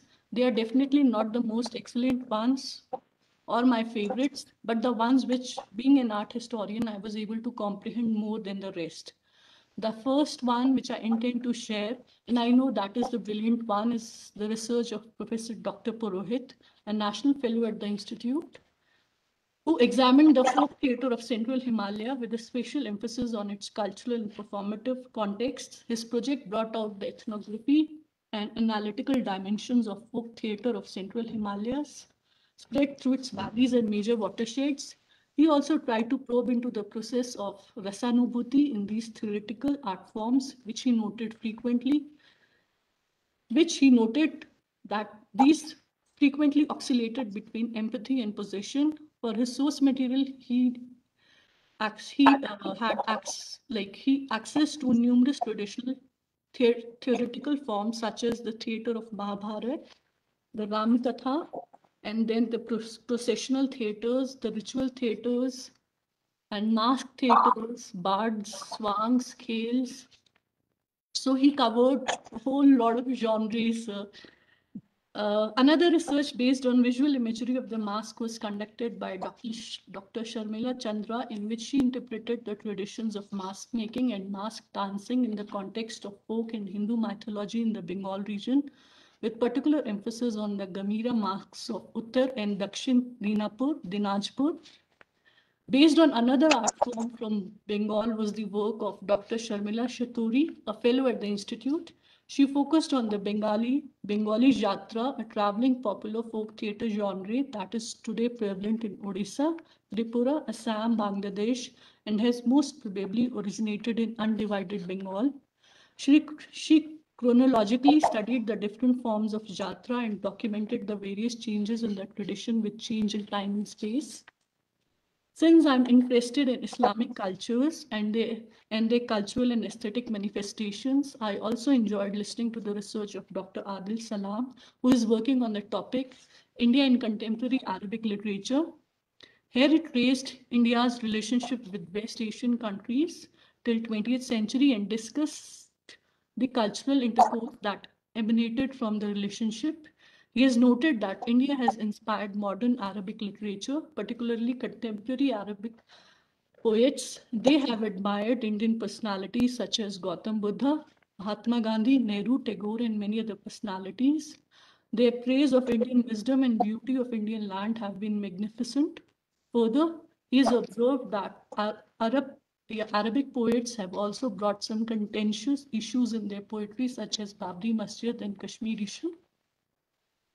Now I intend to briefly share my own research and how I have immensely be benefited from the formal discussions I had during the three seminars I presented here at the IIS. The first seminar, which was the introductory one, was the initial formal platform I received where I shared my project with, with all the esteemed fellows. My approach with my project was obviously art historical. All of them were appreciative of my project, but at the same time, they gave me valuable observations, suggestions, and feedback, which enlarged my perspective towards other vital areas like performance and reception of my text and translation studies. In this regard, I'm thankful to Professor Purohit, Professor Narayanan, and Dr. Nemi, respectively, They opened for me new ways of looking at my paintings and the text, introduced me to, and also provided me with relevant literature. Professor Rajveer Sharma shared his knowledge about kingship and Arthashastra that enabled me to strongly contextualize my work in these traditions.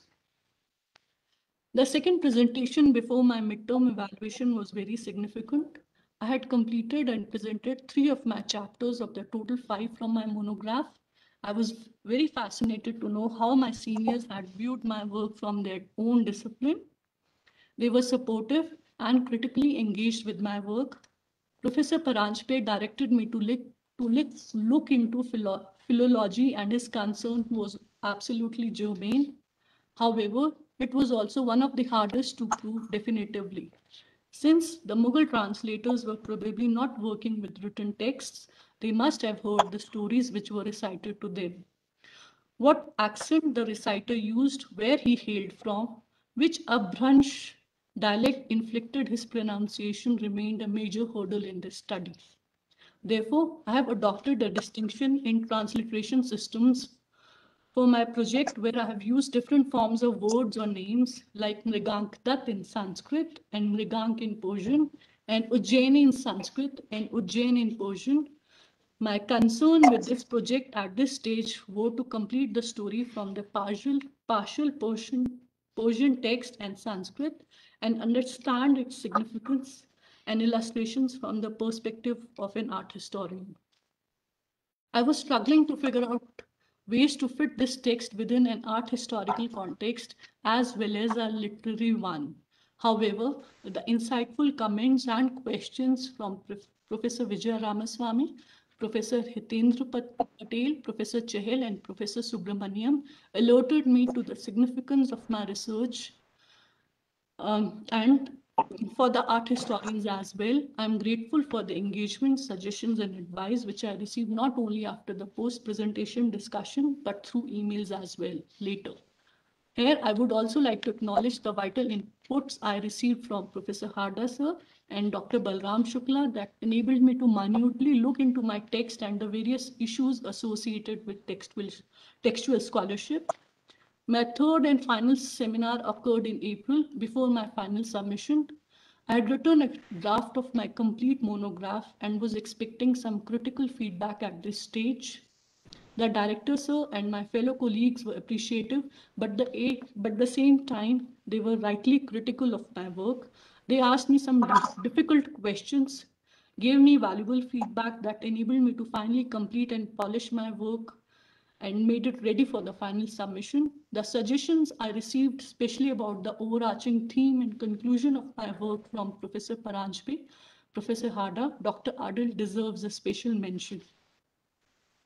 In the conclusion of my presentation, and in some ways, my journey as a fellow, I intend to reiterate that the weekly seminars are an integral and vital part of the academic life at the IIS it offers a platform for sharing, discussing, and debating ideas, scholarship, and on a lighter note, delicious food.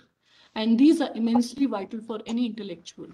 We all have benefited from these sessions. I had come here only as an art historian, but I can proudly mention that I now am a bit more acquainted about performance traditions, translation studies, literature, history, philosophy, and even mathematics Thanks to Professor Raju, these interactions have definitely enriched my work. I always had the ideas, but how to articulately express them so that they are understood by a wider scholarly, scholarly community, community, a significant skill I have learned here. My only hope is that in the near future, after the COVID, the Institute can resume back the physical seminars. Thank you so much for uh, patiently listening to my views and experiences. I've shared my journey here. Thank you. Thank you, Anjali ji. It was marvelous presentation. And you have made us feel very humble by citing most of us that we contributed something to your research. That's great. And instead of commenting on the presentation of both the scholars, I'll prefer to invite other scholars, other listeners to ask questions or make observations on the presentations of these two scholars. You are invited, please.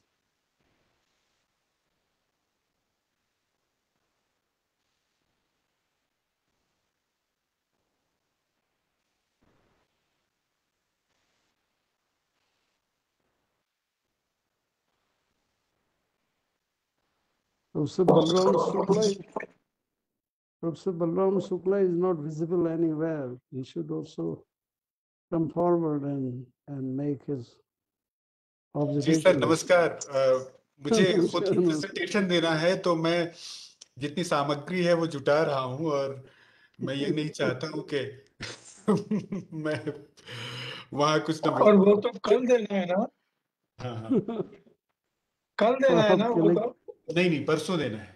परसों आप आपके लिए क्या सामग्री होती है? आप बताइए जो द्वादश भाव है उस पर कुछ बोले हम लोग को और एनलाइटन कीजिए। अंजलि जी का जो टेक्स्ट है वो बहुत ही इंटरेस्टिंग बहुत दृष्टियों से है। वो स्वयं आर्ट हिस्टोरियन है। और इसमें जो विषय लिया गया है वो वस्तुतः उसका जो मुख्य विषय है वो कथा सरित सागर के बारहवें लंबक का है। संभवतः इसलिए उसको द्वादश कहते हैं, द्वादश भाव कहते हैं, अथवा ये बारह लोगों की कहानी है, इसलिए उसको द्वादश भाव कहते हैं। तो उसको मुझे भी देखने का अवसर मिला और इस बहाने मैंने फारसी तो पढ़ी कभी, लेकिन फारसी का जो मैन्युस्क्रिप्ट है, पांडुलिपि, उससे मेरा संपर्क नहीं हुआ था। तो इस टेक्स्ट के बहाने मुझे फारसी के की पांडुलिपि देखने का अवसर मिला और उसके साथ बहुत सुंदर से चित्र भी थे। और जैसे कि ट्रांसलेशन जब किया जाता है तो उसमें जब संस्कृत जैसी भाषा जो कि फारसी और संस्कृत के बीच में, आधुनिक फारसी और संस्कृत के बीच में एक हज़ार वर्षों का की दूरी है। और किस प्रकार एक इन्फ्लेक्शनल लैंग्वेज जो संस्कृत है और एक आधुनिक भाषा फारसी है, उसमें जब परस्पर अनुवाद हो रहा है तो भाषिक समस्याएँ क्या आ रही हैं? या टेक्निकल टर्म्स जो हैं, उसको किस तरह से पर्सनाइज कर रहे हैं? या उसमें जो धार्मिक बातें हैं मूल फारसी, मूल संस्कृत में वो जब इस्लामिक वर्ल्ड में आती हैं तो किस तरह से उसको अप्रोप्रिएट किया जाता है, किस तरह डाइल्यूट किया जाता है, या किस तरह से उसको ये कहें कि अनुकूलन उसका किया जाता है, ये सारी चीज़ें एक ट्रांसलेशन के टेक्सुअल स्टडी में बहुत ही महत्वपूर्ण और बहुत इंटरेस्टिंग होती हैं, जो कि थोड़ा सा मुझे देखने का अवसर मिला। ये बहुत ही अच्छा बहुत ही अच्छा कार्य रहा इनका। और मैं बधाई देता हूँ उनकी इस इस कार्य के लिए उनको। धन्यवाद आचार्य। और कुछ लोग डेफिनेटली सर पहले तो जहाँ तक अंजलि जी का काम है हालाँकि मैं हिस्ट्री का विद्यार्थी नहीं हूँ लेकिन जिस तरीके से उनकी उत्सुकता उनकी खोज वो सही मायनों में खोज करता है। और सही मायनों में खोज करता इसलिए है कि जहाँ उनको थोड़ा सा भी लगा कि इस पॉइंट पर उनको कुछ मिल सकता है तो उन्होंने उस पॉइंट को छोड़ा नहीं एक्सप्लोर किया है।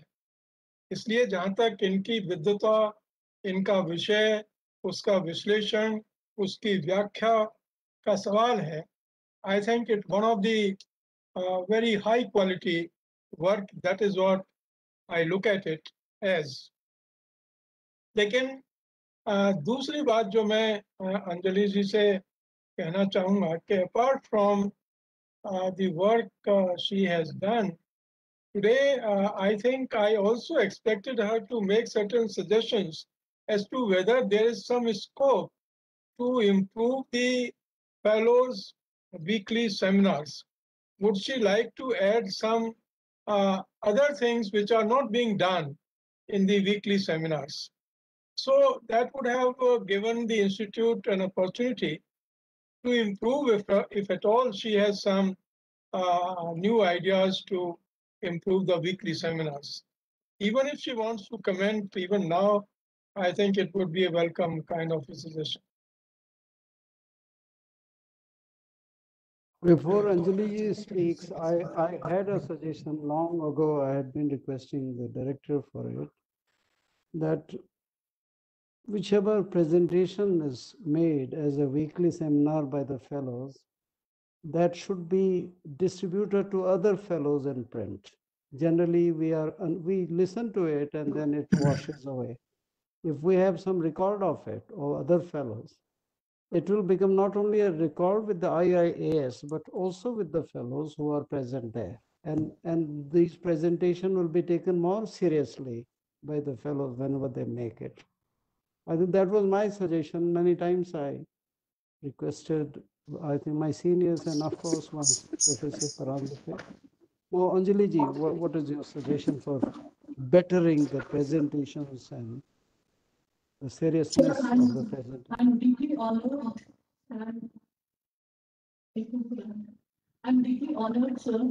His face, everyone is so fascinated about my face. I thought I should speak on fellow seminars and not on presentation and not on my text. So I stayed away from discussing yeah, sharing on the Um, I've, I've shared. I think this is much better.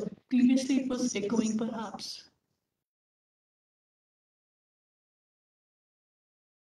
Okay, so my only uh, suggestion is uh, which I felt was कि हमारे लिए जो समय है अपनी बात को रखने का वो बहुत कम होता है 45 minutes is really a brief time it should be extended further perhaps to one one hour one and a half hours and then um, like 40 40 or 45 minutes for the discussion but the presentation time should be uh, because कई बार बहुत सारे details we are not able to share because of the constraints of time so that is only I thing I felt which lacked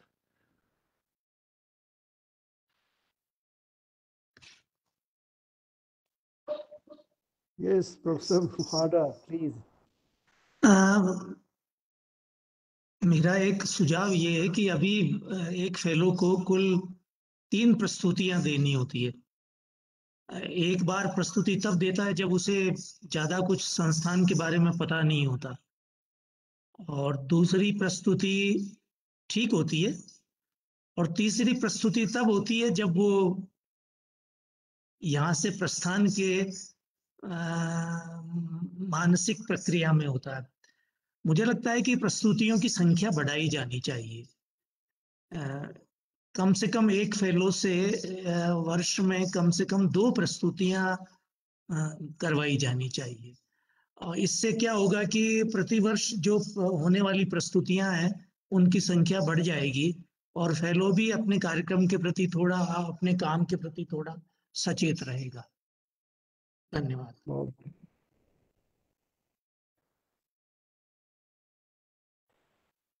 Any other query? मैं professor Sharma से एक प्रार्थना करूँगा कि प्रोफेसर सुधीर कुमार ने एक बहुत बड़ा इश्यू उठाया कि बहुत सारे काम यहाँ पे नहीं हो पाए अभी तक। वो होने चाहिए। आप अपना ऑब्जर्वेशन इस पे थोड़ा सा दें। जैसे उन्होंने फॉरेन पॉलिसी के बारे में बताया, भारतीय कई विद्याओं के बारे में बताया बताया, कालिदास के बारे में बताया। तो थोड़ा सा so that because it is a matter of record so that the record is put straight.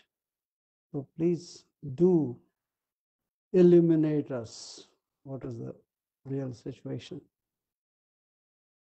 Uh, Sir Rohit, uh, in fact, दो बातें जो उन्होंने कही Hmm. वो महत्वपूर्ण है और वो दो बातें महत्वपूर्ण ये हैं कि एक तो जो हमारा वैल्यू सिस्टम है और जो हमारी सिविलाइजेशनल वैल्यूज हैं उनका contribution not only in the field of foreign policy but in different other areas also is very significant and therefore this is the area which should be given uh, due care Secondly, I think what he is hinting at is that uh, the institute, in fact, has not been evenly distributing the scholarships, uh, the fellowships in different, uh, you know, fields of knowledge, and particularly in uh, in uh,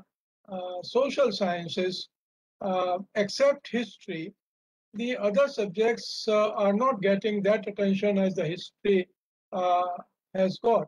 But at the same time, you know, it depends uh, uh, mainly on the proposals that the institute receives. It is not the choice of the institute uh, to order for some kind of a research. It is the proposals that come to the institute. The institute, in fact, uh, scrutinizes those proposals, and out of those proposals, which are considered to be good, are presented for uh, you know the scrutiny of the academic uh, or the fellows selection committee.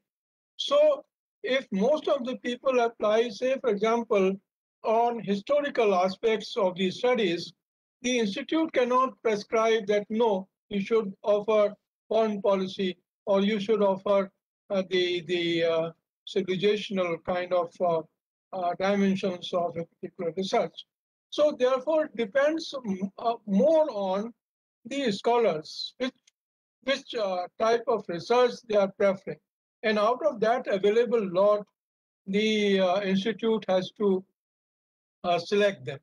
So we don't have much choice uh, on, on this issue, except that the social scientists and particularly the political scientists, the, uh, the academics like Professor Sudhir Singh, who has, who has been making a good contribution in the field of, uh, say, foreign policy, including the uh, linkages between culture and foreign policy, or economics and foreign policy, or ancient thought and foreign policy. There can be different dimensions of these values until unless the scholars like him come forward, make uh, proposals with some kind of a good input into that proposal, I think uh, the, the institute may not be in a position to do much uh, on its own uh, initiative. So this is uh, uh, what I have to say. So far as Kalidas is concerned, Kalidas and others, I don't have much to add except agreeing with what Professor uh, Sudhir Singh has said that we must pay attention to uh, these things. The only thing which the institute can do is, and uh, if it is possible, I don't know, within the memorandum of, of association, whether they can identify some uh, research uh, teams and research uh, areas and whether uh, those teams and research areas identified by the institute are through the constitution of a of a of an academic committee to advertise those uh, uh, areas of preference. And like for example in the police research bureau police research organization they, they identify their, uh, it's a prescribed areas research in uh, BPRD. So uh, can, can the Institute think on those lines uh, and promote uh, the balanced kind of research in different uh, areas? Rajveer जी आ, मुझे इस पर दो बात कहनी है पहली बात कि जो मैंने कालिदास जी का एग्ज़ाम्पल दिया या कौटिल्या को इंडियन मैकियावेली कहा जाता है हम सब इससे एग्री हैं लेकिन मेरा ये मानना है कि जब तक आप अपने चीज़ों को अपने सिलेबस में अपने किताब में अपने जर्नल में ड्यू पोजीशन नहीं दोगे और ये एक्सपेक्ट करोगे कि फॉरनर्स उसको रिकॉग्नाइज करे ये प्रैक्टिकल नहीं है। और हमारे जो हैं इंक्लूडिंग एस इनको इस पर रिविजिट करना चाहिए। टर्म ऑफ़ रेफरेंस जो है, उसको ही रिवाइज करना चाहिए। दूसरी बात आपने कही फॉरेन पॉलिसी और तरह के चीज़ों को, देखिए कंटेम्प्रेरी इशूज को भी लेना चाहिए। क्लाइमेट चेंज कितना बड़ा प्रॉब्लम होता जा रहा है। उस पर भी कुछ फेलोज आने चाहिए, जो कि indigenous mode of mitigation process को लाएँ। हमारे शास्त्रों में तो करे ना सर। दिल्ली जैसे शहरों में भी महिलाएँ सावन के महीने में आपको पेड़ों में जल डालते दिख जाएँगी। वो बगैर किसी कोर्स पढ़े कर रही हैं तो वो हमारा ट्रेडिशन है। लेकिन वो ट्रेडिशन धीरे धीरे कम हो रहा है पढ़त लिखत वाले ग्रुप में। उसको हमको रिविजिट करना होगा एकेडमिक स्तर पर उसको स्थापित करना होगा सर। सिर्फ़ बोलना एक बात है कितने लोग हैं यहाँ? कितना स्प्रेड होगा? लेकिन जब हम उसको लिख के ऑनलाइन छापते हैं तो ग्लोबल ये होता है। और जब ग्लोबली आप एक टीगर करते हैं डिबेट तो कहीं ना कहीं आपकी एक्सेप्टेबिलिटी बढ़ती है और खुद ब खुद दुनिया का जो एकेडमिक कम्युनिटी है, उसको एक्सेप्ट करता है। विदेश नीति के संबंध में आपने कहा, वो अच्छा है, आप जाए, हम जाए, ये एक बात है। लेकिन उसके संबंध में जो भी प्रपोजल जाए, उसको एक पॉजिटिविटी के साथ स्पेस देना चाहिए। सिर्फ़ कुछ ही इशूज पर सारे लगभग काम होते हैं आईआईएस में। वो थोड़ा एक्सपेंड करना चाहिए, जो हॉरिजन है, वो थोड़ा नैरो है, उसको एक्सपेंड करना चाहिए, ऐसा मैं मानता हूँ।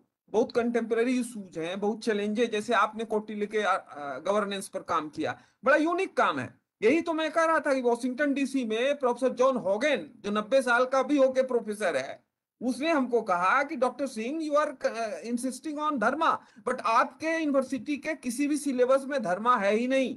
और वो क्रिश्चियन यूनिवर्सिटी है Christian university of America ninety, eighty seven में आया, एक सौ पंद्रह साल पुरानी, बीस, तीस साल पुरानी यूनिवर्सिटी है।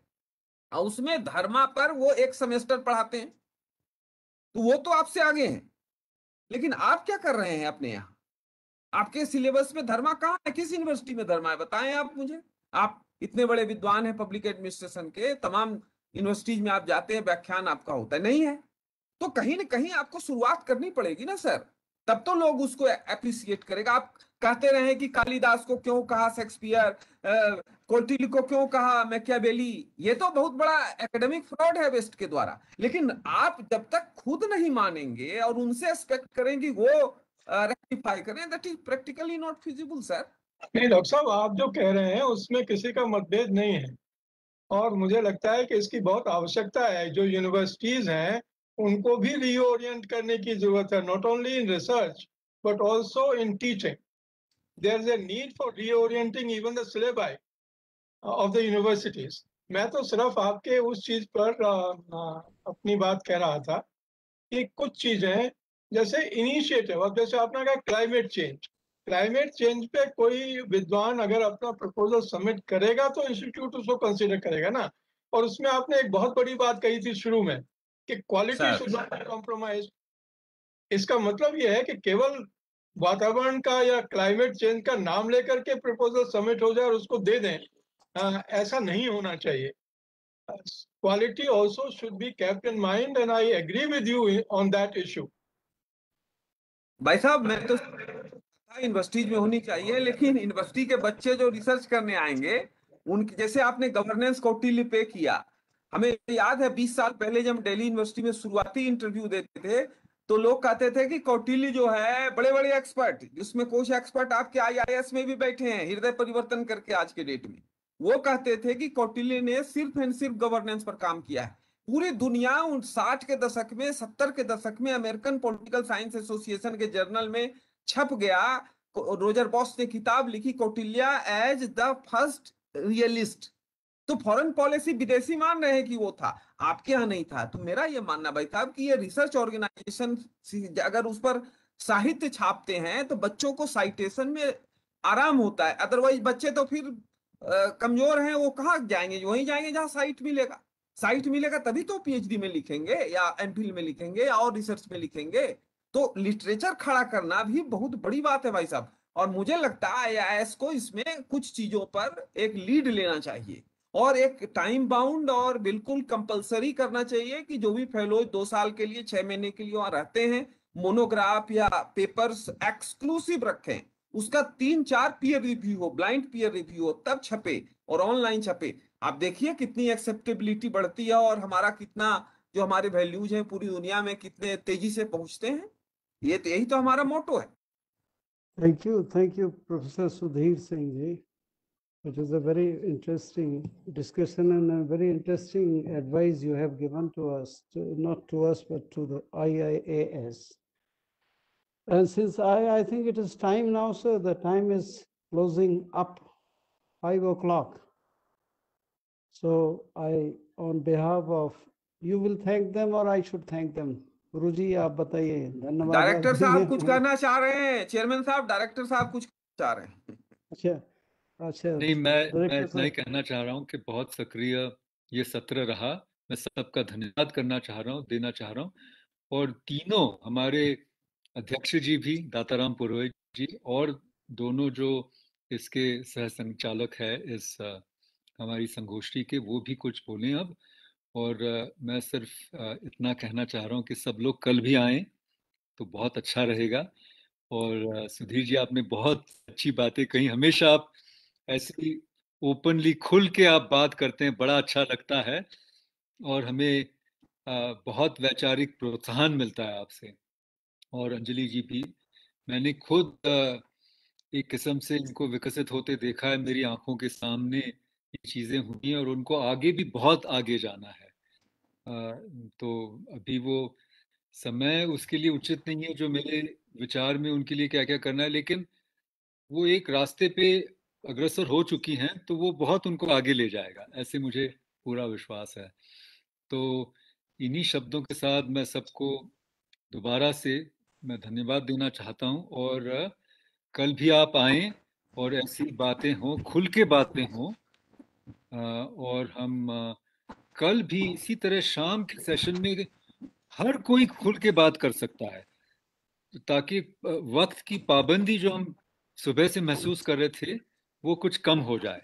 तो हम सेशंस टाइमली करेंगे तो शाम को और अगर हरा साहब सितांशु जी से बात कर पाए तो उनको भी बुलाया जाए। ये मेरा आग्रह है। इन्हीं शब्दों के साथ बहुत बहुत धन्यवाद। और Thank you, आप thank you, तीनों कुछ कहिए।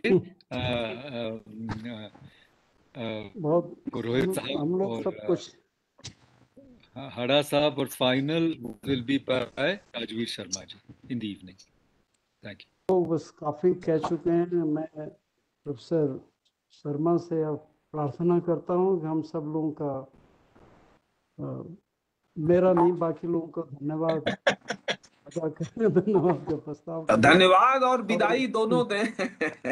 दोनों में। और इसके बाद जो है नहीं विदाई तो इसलिए नहीं दे सकते क्योंकि you have been invited for tomorrow अरे सर आज का दें। Well, it's uh, my pleasure to put a vote of thanks to the chair and the two very learned uh, speakers of the last session of the day. Professor Purohit, in fact, has been uh, very kind to us, not only uh, when he was a chair, when he was a national fellow here, a very lovely, fine person. Uh, ever met uh, here at IIS. इनकी एक चाय मुझे बहुत अभी भी याद आती है। बहुत ही बढ़िया। रुकिए मैं अभी लेके आता हूँ।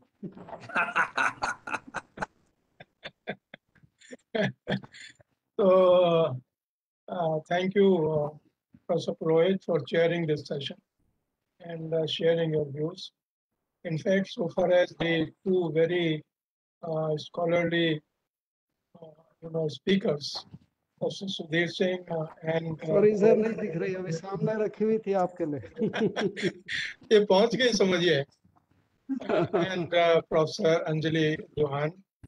Uh, Professor uh, Singh, in fact, is known for uh, placing his ideas across the table very frankly. Uh, and even today, uh, his suggestions were quite uh, relevant and practical also, except that what the Institute can do uh, should be thought over on these matters. Anjali, uh, I have already spoken, is a very brilliant kind of a scholar and a very humble person. Uh, I again repeat it. Thank you, Anjali ji, for uh, making your presentation uh, today. दोनों को बहुत बहुत हृदय से आभार uh, आज के अपने विचार रखने के लिए और मुझे लगता है कि इंस्टीट्यूट इन चीज़ों पर ज़रूर गौर करेगा। आज जो दो सजेशन हड्डा साहब से भी और और प्रोफेसर पुरोहित जी से भी फेलोज सेमिनार जो आज की थीम था फेलो सेमिनार्स के बारे में आए। मुझे लगता है कि वो क्वालिटी और क्वांटिटी और अप्रोच स्कॉलर्स की दोनों को सुधारने में मदद करेंगे। ऐसा मेरा सोचना है। जितने भी अपने यहाँ अपने और फेलोज और विद्वत जन आज के दिन उपस्थित रहे और अपनी बात कही, उन सबको अपना इंस्टीट्यूट की तरफ़ से और प्रोफेसर हाडा और अपनी तरफ़ से बहुत बहुत धन्यवाद। बहुत बहुत आभार। कल फिर मिलते हैं दस बजे। Thank you thank you sir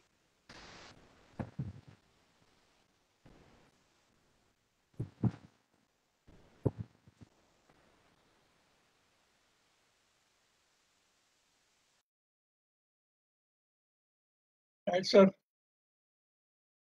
Sir, sir, can I talk to you for two minutes? I'll just call you if you're free. Sure, sir, sure. अच्छा मैं अभी कर रहा हूँ सर आपको थैंक Okay. You Okay.